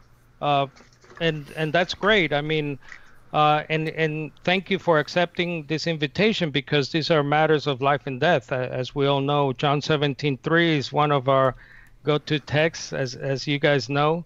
Um, eternal life consists in knowing the Father as the only one who is true God, and of course our Lord Jesus Christ. He is the Messiah. He is my Lord, my Savior. He's not just a mere man or you know he's obviously a super exalted, unique uh, human being. He's the second Adam. I thank you, uh, David, for your professionalism. And moderating is as uh, sometimes as taxing as us preparing all this stuff for the audience. Please go to focusonthekingdom.org. One word, focusonthekingdom.org, and the Human Jesus org website if you want to know more about this line of thinking uh, that it's called biblical unitarianism or uh, as i describe myself christian unitarian there are alternatives to those all those texts we brought up so please check it out and i hope uh, we can all be convinced in our own minds of, of obviously the faith uh, that we have confessed in front of so many witnesses. Once again, guys, thank you for mm-hmm. for your uh, friendliness and and yes, thank you. All right, thank you to our debaters and to everyone for watching. We look forward to many more discussions like this on Christian theology. God bless everyone.